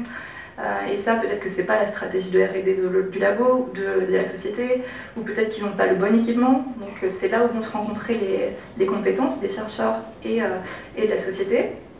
Et donc tout le but du de mon travail, là, ça va être vraiment de, de, négocier ce partenariat dans les meilleures compétences, dans les meilleures conditions possibles. Donc là pour, pour l'établissement public, pour l'État puisqu'il faut, il faut défendre les intérêts publics, il y a de l'argent public qui investit euh, des chercheurs, des équipements, etc. Donc ça va être vraiment de gérer ça. Euh, et donc je dirais que mon activité, c'est effectivement beaucoup sur euh, l'activité contractuelle, il y a vraiment cet aspect-là qui était complémentaire avec les, les, les, matières du master, donc ça c'était aussi très intéressant lors du stage. c'est aussi principalement sur le brevet, le, le CNRS ne fait pas de marque. ni les autres établissements publics euh, globalement. Euh, et, euh, et, donc voilà, après il y a vraiment cet aspect négociation qui ça est aussi très très fort et ça c'est hyper enrichissant, hyper stimulant et c'est pas forcément ce à quoi on pense au début. Enfin, moi en tant que juriste, je pensais pas forcément à ça au début. et au fil, au fil des années, je dirais que la compétence, elle, se développe sur les aspects plus valorisation, donc vraiment transfert, ce que va faire le chercheur, ce qu'on va réussir à, à, vraiment pouvoir transférer à la société. Donc ça va passer aussi par la SATS, où a travaillé Hugo. on va le faire aussi avec nos filiales, donc on doit établir la déclaration d'invention avec le chercheur, commencer à faire euh, des licences avec euh, les sociétés. Euh, le chercheur est un, est un fonctionnaire, donc il peut aussi, pour ne plus être fonctionnaire, il doit faire des dérogations en termes RH pour passer des concours scientifiques, des conseillers scientifiques, monter des startups. Il y a tout cet aspect-là aussi. Du coup, on est vraiment dans un écosystème avec des incubateurs, avec toutes les structures qui peuvent accompagner ces startups. Euh, là, ça c'est vraiment très stimulant et je dirais que c'est, ce qui se retrouve beaucoup dans l'API. Euh, c'est très varié, c'est vraiment très varié l'émission et c'est ça qui fait que on est toujours en, stimulation. Enfin, les chercheurs sont des gens passionnés et donc euh, passionnants et ils vont vous parler. il y en a un qui va vous parler de sa nouvelle molécule qui va voilà qui va qui va sauver le monde. l'autre, il va nous parler d'un kit d'hybridation pour arrêter la pollution, qui va plutôt mesurer la pollution partout. Enfin voilà, c'est des choses très, très intéressantes et très variées qui sont hyper stimulantes euh, au quotidien. Merci beaucoup. C'est encore cette idée de diversité, de tâches euh, et d'expériences euh, variées qui vient d'être évoquée. Je pense que c'est vraiment la, constante de tout ce qu'on a entendu, c'est qu'on ne s'ennuie pas lorsque l'on fait de la propriété donc euh, industrielle, quel que soit finalement le contexte dans lequel on exerce sa profession. Alors le plus simple maintenant, c'est peut-être que vous posiez les questions qui vous intéressent aux, différents intervenants s'il y a soit une profession que vous voulez euh, voir développer, si je puis dire, ou alors des questions plus, pointues sur tel ou tel aspect. N'hésitez pas, euh, nous sommes là, nous, avons, nous sommes réunis pour répondre à, à vos questions et peut-être créer des vocations. Bonjour. Alors, j'aurais une question par rapport au métier de CPI Marc. Euh, une question que j'arrive pas, pas à trouver la réponse. Euh, vous dites que la, différence fondamentale entre un avocat et un CPI, c'est le fait que l'avocat peut plaider et le CPI ne peut pas, mais est-ce que ça s'arrête uniquement là? Non. Ah, non, du coup, quand on veut devenir CPI, donc on doit sortir d'une formation juridique, et ensuite vous avez ce qu'on appelle l'EQF, donc c'est un examen que vous passez. Euh, merci. C'est un examen que vous passez qui s'appelle l'EQF. Vous avez deux mentions, c'est soit mention brevet, soit mention marque. Alors moi aujourd'hui je ne suis pas du tout CPI marque. Euh, je pense que peut-être euh, mes, collaborateurs vont pouvoir m'aider aussi là-dessus. Mais alors je travaille avec eux, c'est-à-dire qu'aujourd'hui un CPI marque, c'est euh, une personne qui va accompagner un client dans son projet de marque, d'image de marque vis-à-vis des uns et des autres. Il va faire ce qu'on appelle des recherches d'antériorité. Donc savoir si la marque qu'il a choisie, euh, est-ce qu'il peut la déposer. Il va également euh, faire ce qu'on appelle euh, des dépôts. Donc il va aller soit en France, soit beaucoup en Europe et à l'international également. Il va avoir toutes les questions également qui vont être, euh, par exemple, quand vous déposez une marque, après vous le savez, vous avez la procédure d'opposition. Vous avez tout le côté d'accompagnement qui est donc à 0 plus 6 mois, où en fait parfois ben, il va y avoir euh, une personne qui aura un petit peu un signe similaire, ou une, dans ses produits et services, il y aura des, des, activités similaires. Donc en fait il va y avoir tout un pan de négociation à dire non mais c'est bon, euh, enfin je, le résume comme ça, hein, mais euh, ils vont négocier pour dire bah non, je veux garder ma marque, mais du coup je veux bien la limiter, ou alors ça va être des accords de coexistence qui vont être créés euh, les uns avec les autres. Et ensuite, après ce pan-là, vous avez tout le côté où ben, euh, l'exploitation de la marque. Donc effectivement, ça va être comment on exploite la marque. Ça veut dire bah, je vais peut-être la vendre ou je vais peut-être la mettre en licence.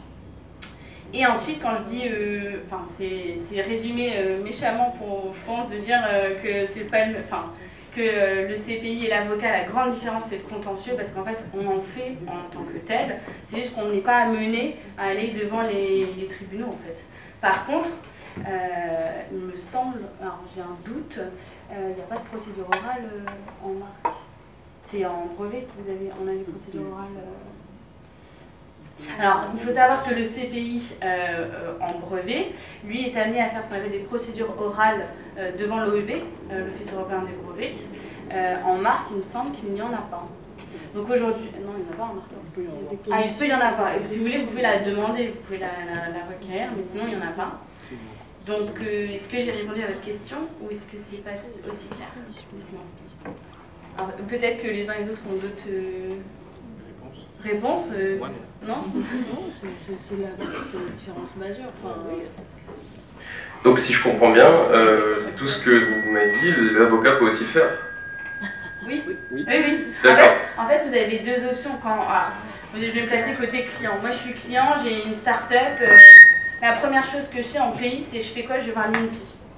Ça, c'est vraiment, euh, c'est l'INPI, vous, avez vous les appelez, on vous donne des renseignements, on vous explique euh, bah, c'est quoi un dépôt de marque, c'est quoi un brevet, c'est quoi un dessin et modèle. Ensuite, vous pouvez vous faire accompagner parce qu'ils ont plein de solutions. Vous avez ce qu'on appelle des pré-diagnostics. On vous dit, ben, dans votre entreprise, je pense que vous êtes une start-up, vous avez des gros besoins en contrat, vous avez des gros besoins en brevet, vous avez plus des besoins euh, dans la veille, dans la recherche, dans la concurrence. Et une fois que vous avez fait ça, et vous avez, en fait, ce n'est pas vos compétences d'entreprise, à savoir, mais vous n'êtes pas bon en pays, bah, vous faites quoi? C'est qui le métier vers qui on se tourne pour qu'on vous accompagne là-dedans? Bah, C'est soit un avocat en propriété intellectuelle, soit un conseiller en propriété industrielle. Parce qu'en interne, vous, dans votre structure, vous n'avez pas ces, ces éléments-là, en fait. Vous pouvez avoir, bah, comme quand on monte une entreprise, vous avez euh, forcément besoin de...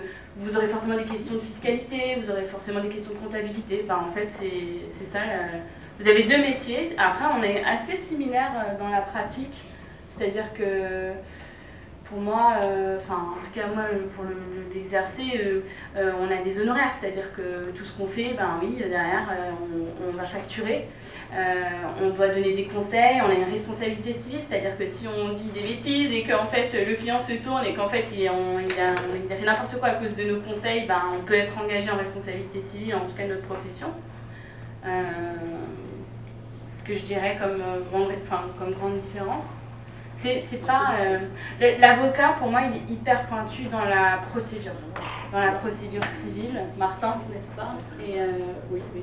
Il est hyper euh, pointu dans ça. Nous, aujourd'hui, vous me demandez d'aller faire une, une, assignation en référé. Bah, J'en sais rien. Enfin, moi, je vais appeler, je vais appeler Martin, je vais dire Martin, écoute, tu peux m'aider. Parce que nous, par exemple, en CPI, dès lors qu'on arrive à un contentieux et qu'on n'est pas capable de le faire, eh ben, on appelle nos confrères et on appelle ben, un cabinet d'avocats et on sous-traite en fait la, prestation. Et c'est comme ça que ça fonctionne, en tout cas, euh, que, dans mon expérience aujourd'hui, c'est comme ça qu'on travaille. Par exemple, moi j'ai eu un cas, euh, on avait, enfin c'est nous qui, avions fait des dépôts de brevets pour une pour une entité, effectivement, alors c'était un ça rejoignait, mais en gros, vous aviez une personne physique qui avait fait des, des principes de coloration euh, pour, les, pour, les, cheveux. Et en fait, elle développait tout le côté bio, et donc elle avait trouvé une super technique de coloration. Nous, on a accompagné, donc il y avait eu un partenariat entre cette coloriste et une grosse entreprise dans le domaine de la cosmétique. Et en fait, il y a eu un couac parce qu'en gros, les enfin, dans la collaboration, ça s'est mal passé. La coloriste a dit bah, c'est bon, j'arrête. Maintenant, vous, devez tout me rendre parce que tout, tout m'appartenait, ce sont mes résultats, je vous ai tout transmis. Et vous n'avez pas à aller déposer des brevets et à vendre mes produits sans mon autorisation. Et aujourd'hui, nous, on n'était plus capable de suivre ces dossiers-là parce qu'on a essayé de négocier. La négociation n'a pas abouti, donc on a dû déléguer. Et, donc là, le, dossier est chez les, chez les avocats et donc c'est en litige devant les tribunaux. Parce que en fait, les parties aussi ont demandé à bah, aller devant le tribunal. En fait. Parce que souvent, euh, enfin, pour moi, euh, enfin, je, le vois, mais je n'y participe pas énormément aujourd'hui parce que je suis encore junior, mais il y a beaucoup de négociations. Je veux dire, c'est que de ça en fait. On arrive dans un métier, ah oui, il y a beaucoup de conseils et d'accompagnement, mais à un moment, il y a forcément, malheureusement, bah, on est juriste, il y a toujours le Ah oui, mais vous avez mis quoi dans votre contrat? Ah ouais, non non, on va peut-être pas mettre ça. Euh, parce que si demain bah, vous divorcez par exemple avec votre compagne et que vous avez une copropriété de marque, bah, comment on fait? Ah bah il fallait prévoir. Donc en fait on est un peu les avocats, enfin on est un peu dans le, dans le négatif nous quand on vient nous voir et que nos, les questions ils sont tout, plein de projets, c'est beau. Et après nous on pense toujours au, au négatif. En disant bah, si ça se passe mal, qu'est-ce qui va se passer, qu'est-ce qui va se passer pour essayer qu'il y ait le moins de, de, ben, de, de, surprise et qui est des portes de sortie en fait. Donc c'est tout un c'est hyper varié en fait. Alors je, je lui parle beaucoup. Hein, je, je, me demande juste où, où mettre votre question en fait.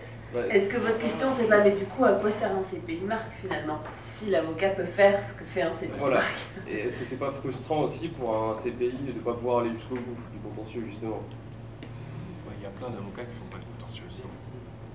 Donc finalement je pense que... Pour, pardon, Non, non, vas-y. pour avoir travaillé dans un cabinet d'avocats en tant que juriste, je pouvais pas non plus plaider. Euh, ce qui m'a frappé, après c'était il y a presque 15 ans maintenant, c'est peut-être moins le cas aujourd'hui, c'est que l'expertise qu'ont les CPI et les juristes en pays, parce que pour le coup je pense que ce sont deux métiers qui sont plus proches que- qu'on l'est de- du métier d'avocat, c'est qu'il y a quand même une, une, une expertise et peut-être plus une finesse dans l'aspect administratif de ce que c'est que la gestion d'un portefeuille de marque et euh, de comment on dépose une marque. Moi, les avocats avec lesquels je travaillais quand j'ai démarré ma carrière ne savaient pas déposer une marque. Ils ne savaient pas comment gérer un libellé de produits et services quand on avait euh, des liasses comme ça euh, de, de recherche, parce qu'à l'époque, on recevait des paquets de papier, et ça fait que 13 ans. hein. Euh, et, effectivement, c'était en charge des juristes d'avoir cette expertise-là, de savoir comment on bidouillait un libellé de produits et services pour que ça passe, pour limiter l'opposition, euh, comme disait Alexandra, pour limiter les risques.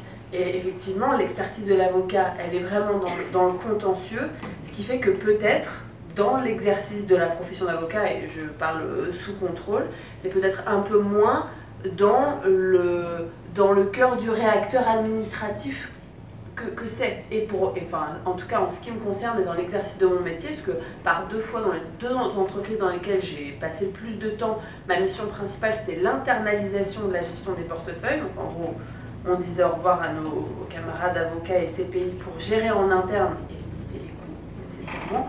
Euh, il faut avoir, il faut savoir gérer un portefeuille. Il faut le faire. Et l'avocat, pour moi, est, parce que son métier est différent, un peu moins expert dans ce domaine-là. Peut-être euh, Martin me répond. Oui, défense. Les droits de la défense, effectivement, c'est important. non, je pense que la profession, euh, tout ce qui a été dit est très vrai. Le, le CPI Marc, c'est euh, le- la, la profession qui, par, euh, par excellence, a une euh, connaissance de la procédure administrative devant les offices, que ce soit les offices français, internationaux, européens. Il n'y a pas de. Euh, après, il y a des avocats dont- qui sont des avocats spécialisés en propriété intellectuelle, spécialisés en marque même, et dont l'essentiel de l'activité est le dépôt de marque, le, euh, le- suivi de procédure, la gestion des oppositions, euh, il, y en a, il y en a beaucoup. La, profession d'avocat, elle, elle, elle a un de, de ses avantages aussi, c'est qu'elle est très modulable et que en fait il n'y a pas une profession d'avocat, il y a des professions d'avocat. Chacun euh, fait et, façonne sa pratique comme il l'entend. Donc euh, c'est vrai qu'il y a beaucoup d'avocats qui euh, font pas, qui font, jamais fait un dépôt de marque, qui n'ont jamais suivi une opposition, ça arrive. Et après il y en a d'autres qui font que ça toute la journée. Tout comme il y a des CPI qui euh, font euh, beaucoup de contrats et qui font euh, pas beaucoup de dépôts. Et enfin, c'est des, des métiers euh, qui sont quand même un, peu vastes, parce que la propriété intellectuelle c'est vaste. Et, euh, et c'est plus euh, la, la pratique, qui, enfin, sa pratique personnelle qui façonne son métier que le titre qu'on a à la fin. Je pense. Et d'ailleurs, euh, il y a euh, des, actions qui sont euh, qu'on peut exercer à la, fois, quand on est avocat et quand on est, quand on est CPI. Par exemple, une action en, déchéance d'une marque de l'Union européenne. Aujourd'hui, on peut faire une action judiciaire en France devant le tribunal et ce sera un avocat. Ou alors on peut faire une action administrative directement devant l'office et ce sera géré par un CPI. Et, bientôt en France aussi. Et bientôt en France aussi. et bientôt en France aussi, euh, on pourra, euh, on pourra avec, euh, les dispositions de, la loi Pacte, on pourra faire des actions en nullité des actions en déchéance directement devant l'INPI. Donc il y a des, y a des, et ce sera fait par des, par des, par des avocats, oui, ou par des CPI, l'un ou l'autre. Donc il n'y a pas de, c'est- vraiment sa pratique qui guide ce qu'on veut faire comme comment on veut exercer son métier.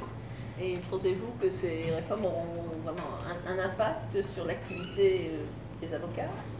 Sur l'activité des avocats, bah, je pense que pour certains, oui, parce qu'effectivement, ceux qui, ceux qui avaient une pratique qui était essentiellement tournée vers le, conseil, le dépôt et la gestion, euh, ils vont pouvoir... Euh, ils vont pouvoir euh, enfin, je pense que plus que pour les, avocats ou pour les, pour les CPI, ça va avoir une, influence sur, les, sur les, titulaires de droit.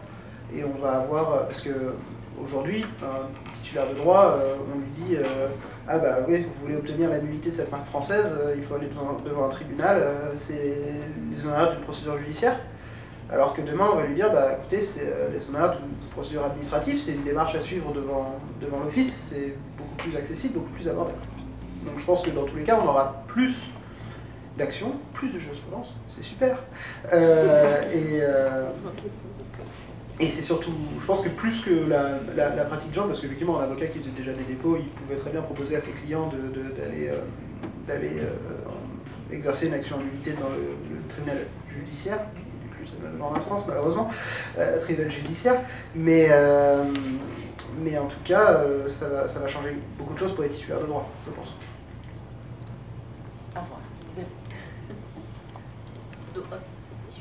Et euh, moi, si je, peux, si je peux rajouter un truc aussi pour, euh, pour les CPI, il faut dire que les grandes entreprises françaises qui font de l'innovation euh, travaillent tous les jours, tous les jours, tous les jours avec des cabinets de, CPI et vraiment main dans la main pour définir la stratégie d'innovation des, des, grandes entreprises, avec des avocats aussi bien sûr, mais, mais à la gestion quotidienne et tous les jours, c'est avec des conseils en propriété intellectuelle.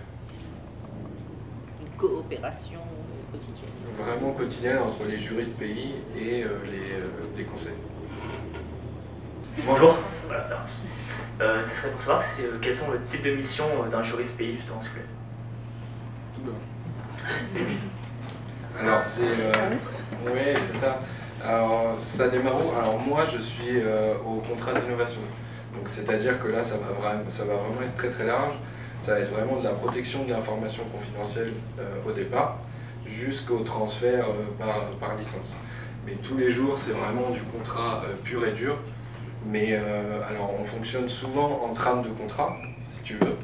Mais en fait, la plus-value que va faire le, juriste, c'est de coller exactement à la demande du collaborateur. Donc, c'est vraiment d'abord être à son écoute, savoir ce qu'il veut, et surtout essayer de déceler vers là où il ne faut pas qu'il aille, en fait. Donc, donc c'est beaucoup de travail en projet et en équipe projet, mais sinon, principalement, c'est quand même du contrat.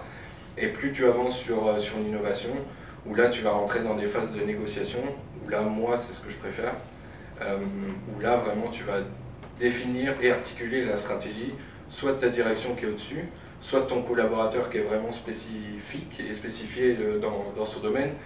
Mais voilà, tous les jours, ça peut être aussi bien des réunions, des déplacements, des ouvertures euh, dans, certains pays où il y a besoin de développer une innovation. Euh, donc tu peux être amené à bouger dans le globe. Bon, moi, ça fait un mois, je vais bouger. Mais, mais ça peut arriver. Et mais voilà, après, c'est sur, sur ta pratique et en fonction de la direction de ton groupe. pour Decathlon et moi en, innovation, c'est vraiment très très varié. tu en as parlé tout à l'heure, la confidentialité, les licences pour les marques ou des brevets. Donc c'est très varié. Mais oui, tu t'ennuies pas et tu tombes pas en surtout.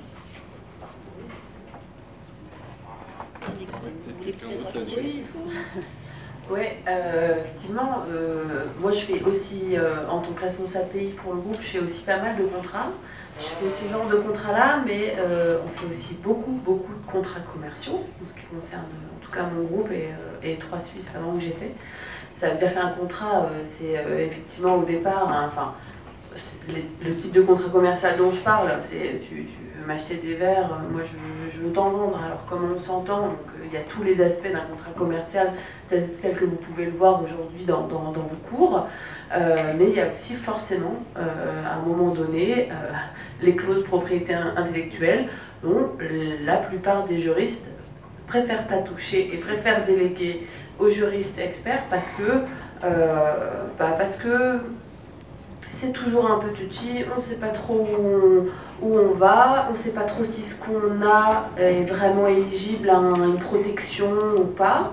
Euh, donc euh, voilà, dans, ma pratique, euh, et c'est une des choses qui... Alors, ça va dépendre aussi beaucoup de l'entreprise où vous travaillerez, si vous, si vous dirigez vers une, une carrière de juriste. Quand j'étais chez 3 Su, je faisais assez peu de contrats. En 7 ans, j'ai dû faire 200 contrats.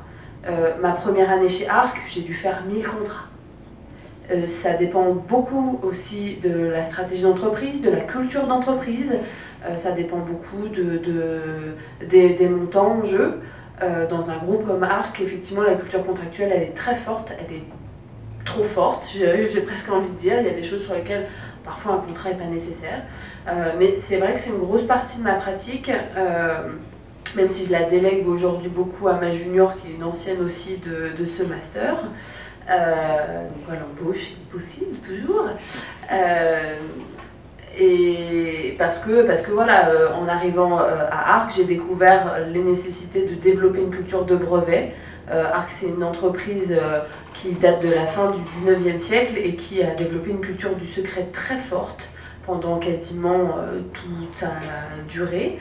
Et en arrivant, bah, il s'est avéré que j'ai mis le doigt un peu dans sur, des problématiques où on me disait bah ça, c'est contrefait, euh, telle entreprise chinoise, telle entreprise euh, euh, pakistanaise ou turque, nous, on, trouve nos machines sur YouTube, qu'est-ce qui se passe? Je dis vous avez fait quelque chose, vous c'est protégé, moi crédule, quand même, une entreprise comme Marc, on, peut déposer des brevets. Ah non, non, non. Ah, c'est quoi un brevet Ça sert à quoi et du coup, bah, confronté, moi qui faisais des marques et des dessins à modèles depuis presque 10 ans, bah, il a fallu mettre la main dans la porte euh, et, et, juste former les équipes. C'est quoi un brevet Comment on lit un brevet C'est quoi ce numéro-là C'est quoi cette date-là À partir de quand? Et donc, il y a beaucoup de formation, je trouve aussi dans le métier de juriste pays, euh, de formation des équipes, parce que euh, la théorie des sept erreurs, on l'entend encore aujourd'hui, et c'est une véritable hérésie juridique. Euh, on entend des énormités qui sortent des écoles de commerce et contre lesquelles il faut se battre euh, ardemment euh, tous les jours avec le sourire parce que sinon les équipes ne reviennent pas vous voir si vous n'êtes pas aimable et souriant et, drôle finalement pour un juriste. Hein, étonnant, vous ne s'attendez pas. parce que voilà, ça nécessite de former les équipes, d'être proche des équipes, d'aller à la machine à café aussi, parce que c'est là qu'on apprend beaucoup de choses, euh, parce qu'on nous prévient rarement en amont encore, malgré tout. C'est souvent euh, à la fin quand euh, ça commence à cramer. donc voilà, beaucoup, aussi beaucoup de formation, beaucoup d'administratif, parce que comme je le disais, chez nous on a internalisé la gestion de nos portefeuilles, donc on gère nos marques, on gère nos dessins et modèles, nos brevets sont encore gérés des cabinets en conseil, parce que voilà, je ne suis pas ingénieur, donc nécessairement on a besoin d'un cabinet pour ça mais, euh, mais euh, ça fait voyager, même en restant derrière son ordi. Euh, moi, j'échange tous les jours avec, avec des Chinois, des Indiens, des, des, des, Japonais, un peu moins la Chine dernièrement. mais ils sont en vacances prolongées. Mais, mais voilà, c'est vrai que c'est très riche, mais c'est des métiers où il faut savoir aussi se créer ses opportunités, il ne faut pas s'enterrer trop dans le contrat. Moi, ça fait presque 14 ans que je fais ça et il y a des choses qui peuvent être un peu rébarbatives à la longue, mais, donc, euh, mais je trouve que l'API, euh, ça reste une, une, zone du droit qui est accessible à tous aussi intellectuellement, et ce qui fait que je trouve que les rapports sont faciles avec d'autres équipes dans l'entreprise. Et c'est facile de communiquer parce qu'ils savent à peu près de quoi on parle. Ça, ça parle. Et c'est en tout cas la raison pour laquelle moi je me suis orientée dans ce domaine-là, parce que ça me parlait plus, c'était plus concret pour moi. Et je trouve que c'est euh, dynamique. Et effectivement, l'innovation, on voit partout, on entend parler tout le temps. Et euh, enfin, c'est des métiers, euh, des métiers porteurs. Et je, vous, je vous encourage vivement à, réfléchir à cette option-là, en tout cas.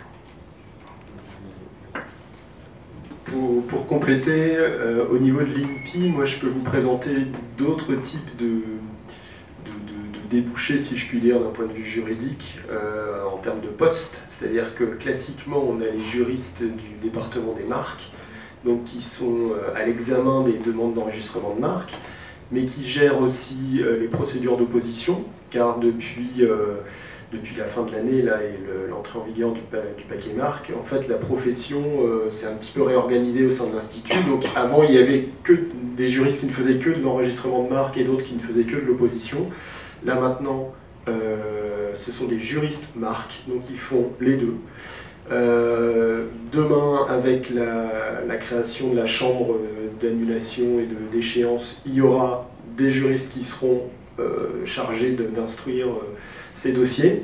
Vous avez également donc au sein du service juridique international où je travaille trois pôles. Vous avez le pôle dans lequel je suis, le pôle juridique. Donc nous, on intervient un peu sur tout type de questions en interne. ça va aussi bien de questions métiers que euh, d'accompagnement dans les développements de projets informatiques ou ce genre de choses. Mais vous avez également un pôle international euh, qui est une équipe qui, elle, est chargée de euh, travailler essentiellement avec les offices supranationaux, l'OMPI, l'OEB, le IPO à Alicante, la Commission européenne, parce qu'en fait vous avez énormément de groupes de, travail qui existent au sein de ces offices qui rassemble en fait des praticiens un peu de, différents pays et euh, un gros travail d'harmonisation des pratiques.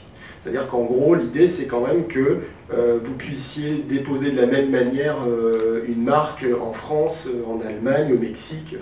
On essaye de, manière générale de rapprocher les pratiques pour que justement il y ait une sécurité juridique à ce niveau-là, qu'on ne soit pas voilà, complètement euh, sur, des, pratiques euh, à l'opposé.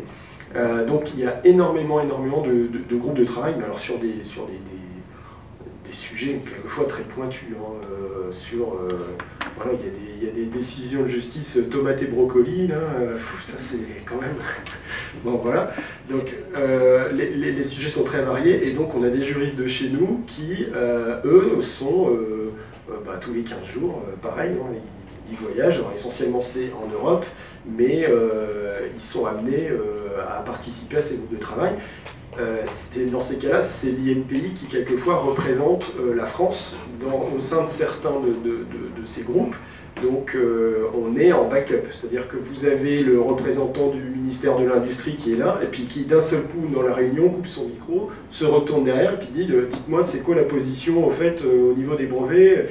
Et on a euh, le temps de la pause, une demi-heure pour euh, refaire vite fait un topo euh, pour que éventuellement, si la question se pose aux représentants de la France, ils puissent avoir quelque chose à dire. Donc il y a des petits challenges comme ça pour ces, juristes-là. ils sont une petite équipe, hein, ils, sont, cinq, mais bon, voilà, ils vont avoir de plus en plus de besoins, donc il y aura aussi des recrutements de ce côté-là. Et puis vous avez donc un pôle de publication et de traduction donc c'est eux qui, leur, euh, on va dire, leur tête de modèle, c'est la revue PIBD. Donc eux, ils sont chargés d'analyser la jurisprudence. Donc euh, si vous adorez les commentaires d'arrêt et tout ça, ben, en gros, c'est leur boulot. Ils suivent la doctrine et la jurisprudence. Donc en gros, ils alimentent une base de, jurisprudence, euh, la base Jurimpi sur, sur le site, et les décisions les plus pertinentes, ils les conservent pour les publier dans la revue. Euh, qui euh, d'ailleurs euh, incessamment sous peu, c'est un mini scoop, parce que vraiment je crois que c'est pour le mois de mars, va être complètement dématérialisé, c'est-à-dire sous forme de site internet en fait. Ça va plus être le. C'était le papier avant, maintenant c'était une version PDF, là ça va devenir un, vrai site à part, consultable directement, etc. Donc ils sont en plein développement justement du futur PIBD en ligne. Euh, donc voilà, eux, leur job, c'est plutôt de récupérer les décisions de jurisprudence, euh, de les analyser, d'alimenter une base de données, euh, d'alimenter le PIBD pour les décisions les plus pertinentes. éventuellement, il y en a encore quelques-unes, mais c'est de plus en plus rare de répondre aux questions de jurisprudence qui leur sont posées par les avocats ou les étudiants. même à l'époque, avant, c'était à la bibliothèque, mais maintenant qu'on est à Courbevoie, il n'y a plus personne. la bibliothèque est vraiment minuscule. Euh, et puis de toute façon, tout est en dématérialisé. Euh, voilà, et ça c'est uniquement pour les juristes propriété euh, industrielle. Après, au sein même de, de l'Institut, vous avez des personnes qui ont plus des appétences en gestionnaire de bases de données, par exemple, donc qui ne sont pas forcément à la base spécialisées en pays, qui ont une petite connaissance quand même, mais qui étaient d'abord plutôt spécialisés dans la construction de bases de données, la gestion de bases de données. et puis comme on est un établissement public, on est soumis à des règles particulières, notamment en matière de marché public et autres. Donc moi je travaille aussi quotidiennement avec des juristes spécialisés en marché public euh, pour tout ce qui est contrat, convention qu'on passe, puisque nous, on a euh, cette obligation-là de, en matière de, de, passation de marché public et autres. Euh, donc voilà, c'est pour vous montrer qu'il y a quand même une variété de, métiers en tant que juriste pays au sein d'un office de propriété intellectuelle. Et moi je reviens sur, sur ta question aussi, j'ai oublié un pan aussi qui est actuel tous les jours pour, mon travail, c'est aussi, euh, enfin, l'API, c'est aussi euh, le droit d'auteur et le droit à l'image, et, euh, tous les aspects communication aussi d'une entreprise.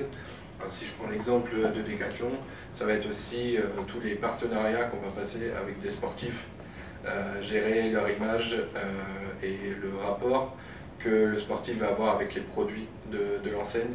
Donc ça peut être vraiment très très large aussi en communication. Euh, passer des partenariats, euh, faire attention au droit à l'image si on a certains tests euh, de produits à faire. Voilà, que ce soit pour de la publicité aussi, qu'est-ce qu'on a le droit de filmer. au niveau des enfants, il y a une réglementation particulière pour le travail des enfants aussi. Donc voilà, et c'est vraiment faire attention au respect de la légalité pour le droit à l'image. C'est vrai qu'on n'avait pas parlé encore du, droit à l'image et de la protection de, l'image de, la personne. Donc il y a ça aussi en ambition.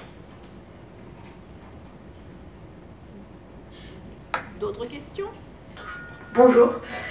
Euh, alors j'ai pu comprendre que l'anglais était une composante essentielle de cette branche du droit. Et c'est vrai que ça peut faire un peu peur de se retrouver confronté euh, à un langage juridique dans une langue étrangère. Du coup, je voulais savoir si, selon vous, il y avait une année idéale pour euh, partir à l'étranger, pour pleinement se consacrer à l'apprentissage de la langue. Je réponds parce que moi c'était vraiment il y a un an, j'en profite. Hein. Mais moi perso c'était plus, euh, enfin tout était voué à ce que j'aille à l'étranger. Enfin, alors oui j'ai quelqu'un, mais euh, bon voilà, dans sa vie personnelle il y a les questions de, ben euh, mieux vaut le faire tout de suite que pas, enfin plus tard. Ensuite je sortais de l'école donc je me suis dit ben voilà c'est pas grave j'ai un an, j'ai encore un an. ou deux, c'est pas grave si j'ai toujours pas de travail, je vais m'en sortir. Après, j'avais toujours des boulots alimentaires que j'avais fait à droite à gauche, donc je m'étais dit, bon, bah, si je reviens et que j'ai pas de travail, bah, c'est pas grave, bah, je ferai caissière euh, au monoprix, il n'y a aucun souci, le temps de chercher. Pour moi, je pense qu'il n'y a pas de meilleur moment. Euh, moi, je l'ai fait là, euh, juste après mes études, parce que j'étais dedans. mais oui, oui, vraiment, c'est mis 100, enfin, mais même, c'est pas 90, enfin, pour moi, on est à 99% de travail en anglais. C'est vraiment, hyper important. Et même aujourd'hui, moi, j'ai pas tous les termes juridiques euh, euh, les plus pointus que je peux avoir.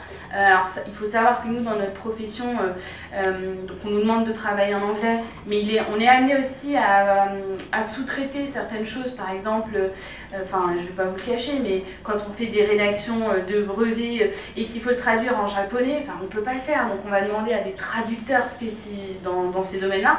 Et même moi, encore, je ne sais plus, ça devait être avant-hier, on m'a demandé de. Donc j'avais rédigé un contrat, euh, donc c'était un, accord de confidentialité en anglais.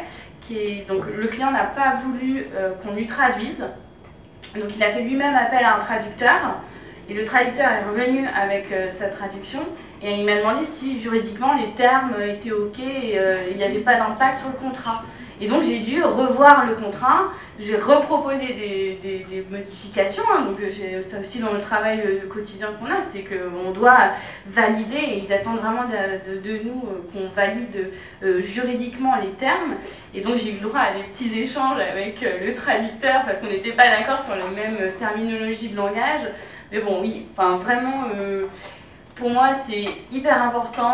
Je pense que sans cette année, j'aurais pas trouvé aussi, enfin même pour plus tard, là, quand, enfin je sais pas si vous avez euh, les réseaux sociaux, vous regardez un peu les, les, candidatures qui tombent, mais c'est vraiment, par exemple, nous, je sais que dans notre entreprise, on cherche, euh, il y, a, beaucoup de recrutement, alors il faut le dire, pour le vivre dans le cabinet dans lequel je suis, on est constamment en recherche parce qu'en fait, euh, bah il y a beaucoup de demandes, il y a, y a, vraiment de la demande en juris pays, il y a une demande des CPI marques, la profession, elle est, pour, vous donner un chiffre, on est 1000 hein, en France en CPI, hein, que ce soit marque ou brevet, donc c'est pas beaucoup comparé à Martin, j'avais vu une étude, je crois que c'est 63 000 avocats en France.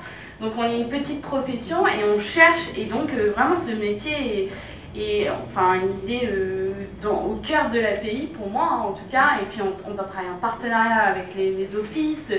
Et du coup, euh, l'anglais hyper important. Si vous avez l'occasion, je vous, vraiment, c'est une recommandation. Et, euh, et, même aujourd'hui, moi, quand je regarde les offres d'emploi, il y a que, on ne demande que de l'anglais. Et donc, par exemple, aujourd'hui, quand on cherche quelqu'un dans mon cabinet, euh, la première chose qu'on fait, c'est l'entretien, ok, let's go in English. Et donc là, on parle anglais. Et souvent, c'est Ah non, mais c'était une bille, elle sait pas dire ça en anglais. Ou pas... Enfin, c'est horrible, hein, mais maintenant, on est obligé parce que sinon, ça marche pas. Alors, je sais pas si vous avez eu vous-même des expériences, alors, vu que tu travailles beaucoup en anglais. Euh. Alors, moi, j'ai pas fait d'Erasmus, j'ai pas fait de ce genre de. Non, non, à titre personnel, j'en avais fait. Euh, et j'ai une, une, appétence pour les langues étrangères euh, qui, voilà, qui fait que je me suis jamais trop sentie en fragile là-dedans. Maintenant, je peux comprendre que ce ne soit pas le cas pour tout le monde. Après, ça vient aussi avec l'exercice. Vous regardez tous des séries télé, regardez-les en anglais et mettez-vous des sous-titres en anglais et travaillez votre oreille. Et en fait, ça passe. Aujourd'hui, de toute façon, que ce soit pour être juriste pays ou pour être juriste autre chose ou pour être avocat ou pour quel que soit le métier que vous envisagez de faire, l'anglais est incontournable. Donc n'en faites pas l'économie, vous allez vous tirer une balle dans le pied.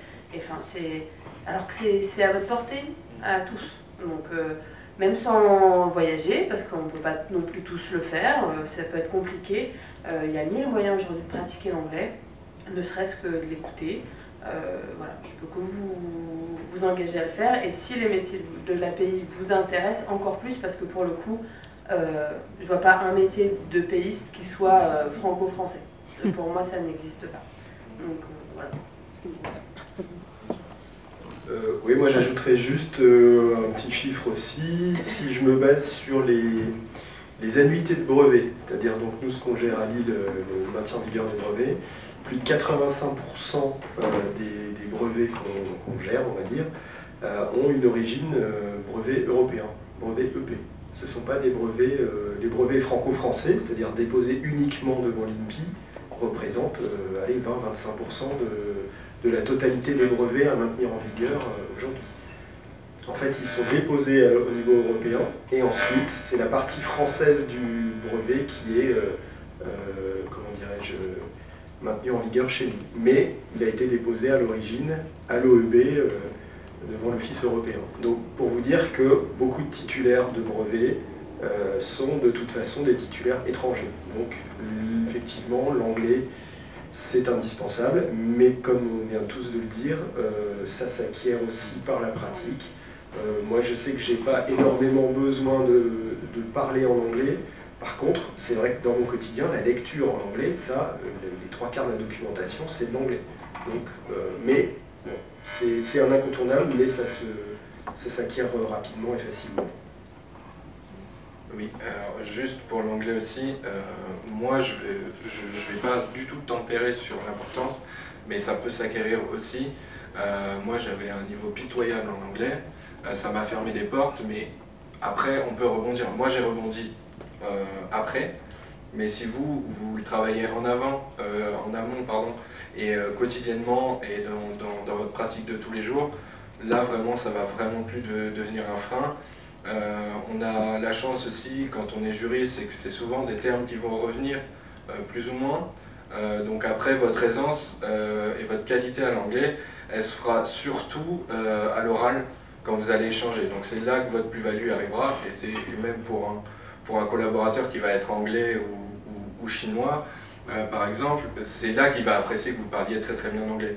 Mais après, pour, pour le juriste pur et dur, c'est vrai qu'on peut facilement monter en compétence, je pense, euh, dans les termes juridiques en anglais, mais c'est vrai que ça reste quand même un, incontournable.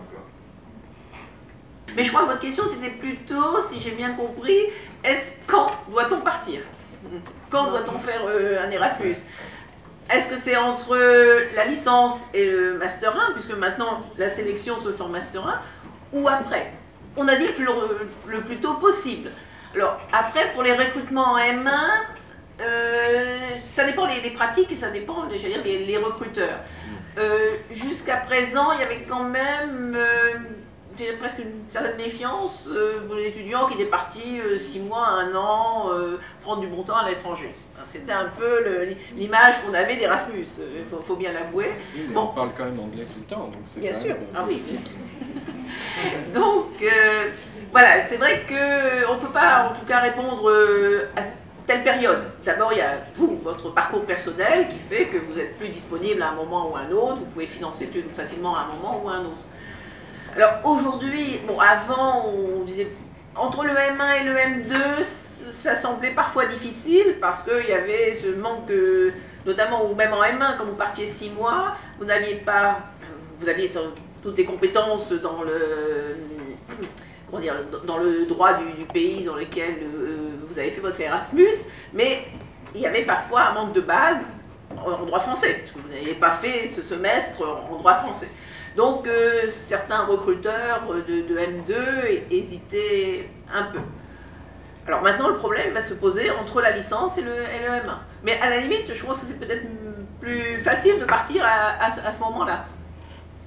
Mais ça, euh, voilà, je ne peux pas vous conseiller ni une solution ou l'autre, mais euh, on reste tous d'accord, il faut travailler votre anglais, ici ou ailleurs, mais il faut travailler votre anglais. Si je prends un exemple, oui, l'année dernière, on avait un cours euh, qui était dispensé en anglais. Bon, moi, sans surprise, j'avais pas une très bonne note. Mais tous ceux qui sont partis en Erasmus en L3 euh, survolaient littéralement ce qui, ce est appris en, master.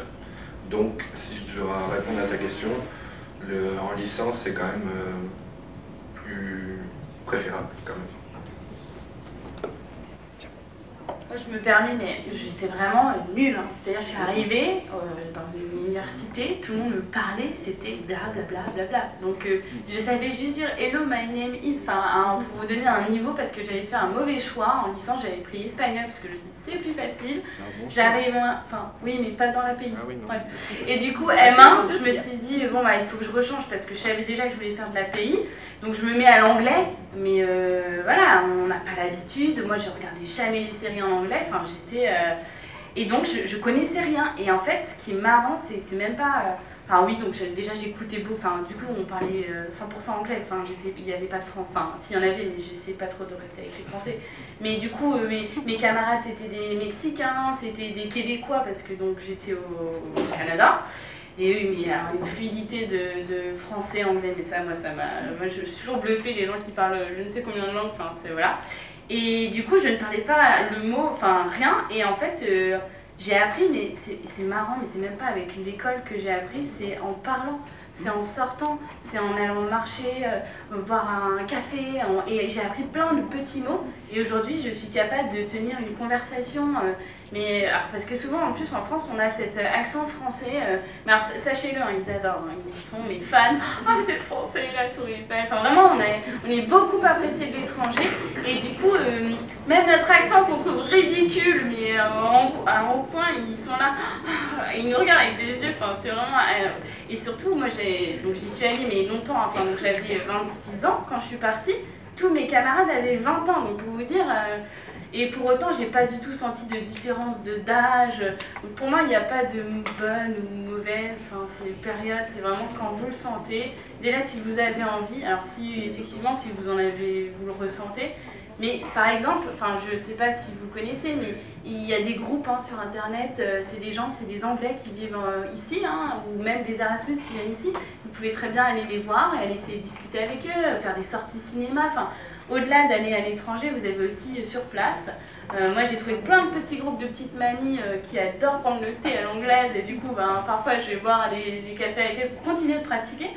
Parce que ben, c'est jamais pareil de l'anglais professionnel et l'anglais euh, courant, en fait, c'est pas pareil. Et voilà, en tout cas, si vous voulez partir, c'est une super euh, opportunité. Vous avez ici, euh, moi j'avais été beaucoup accompagnée par Madame Béatrice Porter. Porter, exactement. Qui, parce qu'en fait, on a un large choix de, de, systèmes. En fait, on ne le sait pas, hein, mais à l'université, il y a un large choix de de, enfin moi je ne savais pas plutôt, où on peut, euh, bah, il y a des LLM, il y a donc l'Erasmus, il y a le Créput, mais il n'y a pas que ça. Et euh, en fait, il suffit d'aller toquer à leur porte, alors je ne sais plus où ils sont, mais vous toquez, vous dites, bah voilà, j'aimerais partir, c'est quand les candidatures, quand est-ce que je peux, et vous faites un dossier. Et moi j'avais demandé euh, à madame, notre professeur d'anglais, madame Larry, c'était madame Magnier. Et ben Madame Manet qui m'a fait une lettre de recommandation. Alors la pauvre, quand je lui ai demandé, elle me dit ah, Oui, mais vous n'êtes pas bonne en anglais. oui, mais vous plaît, c'est juste pour le dossier. Bon, je vais essayer de dire les choses, mais je peux pas être. Euh, et vous voyez, donc même moi, mon dossier de candidature était euh, assez bas et enfin, je n'y croyais pas. Moi, quand j'ai reçu la lettre d'admission, j'étais là. Ah ouais, euh, enfin, j'y croyais pas. Et donc quand je suis arrivée, c'était.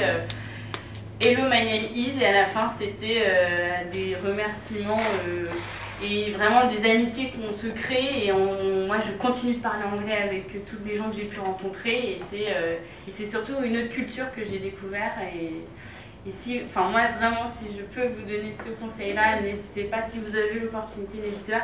Même si c'est semé d'embûches parce que c'est vraiment tout un système administratif qu'il faut combattre.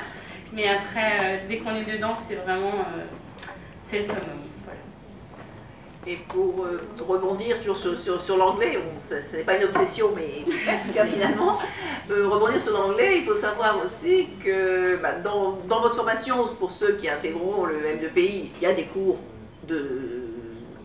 d'anglais et aussi des cours en anglais, c'est-à-dire euh, des cours de matière, de discipline, mais en anglais. Et il y a aussi un séminaire qui va devenir obligatoire pour vous, puisqu'il est de, pour l'instant il était facultatif, mais il va être obligatoire à la rentrée. Un séminaire donc d'une semaine à Alicante, à l'UPO, bien évidemment. Euh, et donc euh, il est obligatoire. Pardon, on peut revenir Vous voyez Donc super. Non, la nouvelle version, c'est super.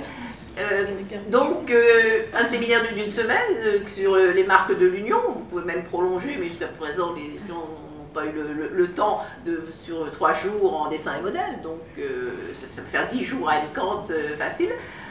Et bien sûr, tout se passe en anglais. Hein, tous les séminaires euh, se, passent en anglais.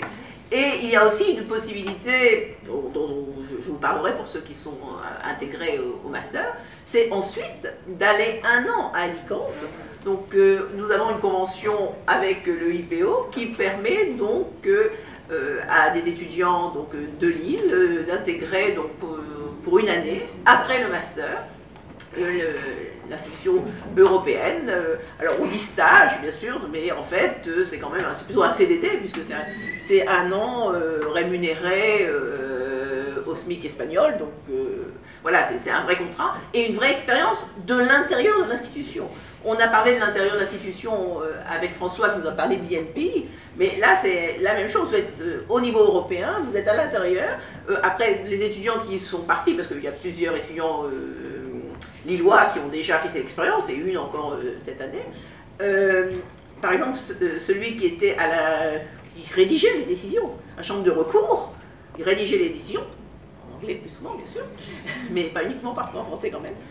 Euh, cette expérience, il l'a valorisée. Il est resté à Alicante dans un cabinet d'avocats, il l'a valorisée parce que euh, connaître de l'intérieur de l'institution les mécanismes, ça se valorise, euh, c'est vraiment une porte d'entrée, effectivement, aussi bien chez les CPI que en tant que juriste dans des cabinets d'avocats, et bien sûr dans toutes les autres professions. En anglais aussi. Et puis en anglais aussi, puisque là, non seulement vous vous, acquérez donc une grande maîtrise de, l'anglais, mais l'UIPO offre aussi euh, des formations en langue. Et notamment, vous pouvez, si vous connaissez moins l'espagnol par exemple, avoir une formation gratuite euh, en espagnol ou en allemand ou en, d'autres langues. Euh, donc voilà, tout ça pour vous dire que la maîtrise des langues aujourd'hui, même si c'était peut-être pas vrai il y a 20 ans, Aujourd'hui, la maîtrise des langues est essentielle, surtout en droit des affaires et plus particulièrement encore en propriété industrielle.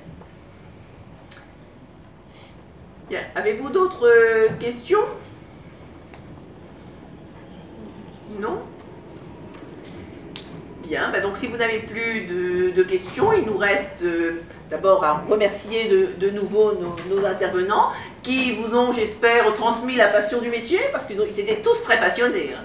Et donc je crois qu'on peut les applaudir pour les remercier.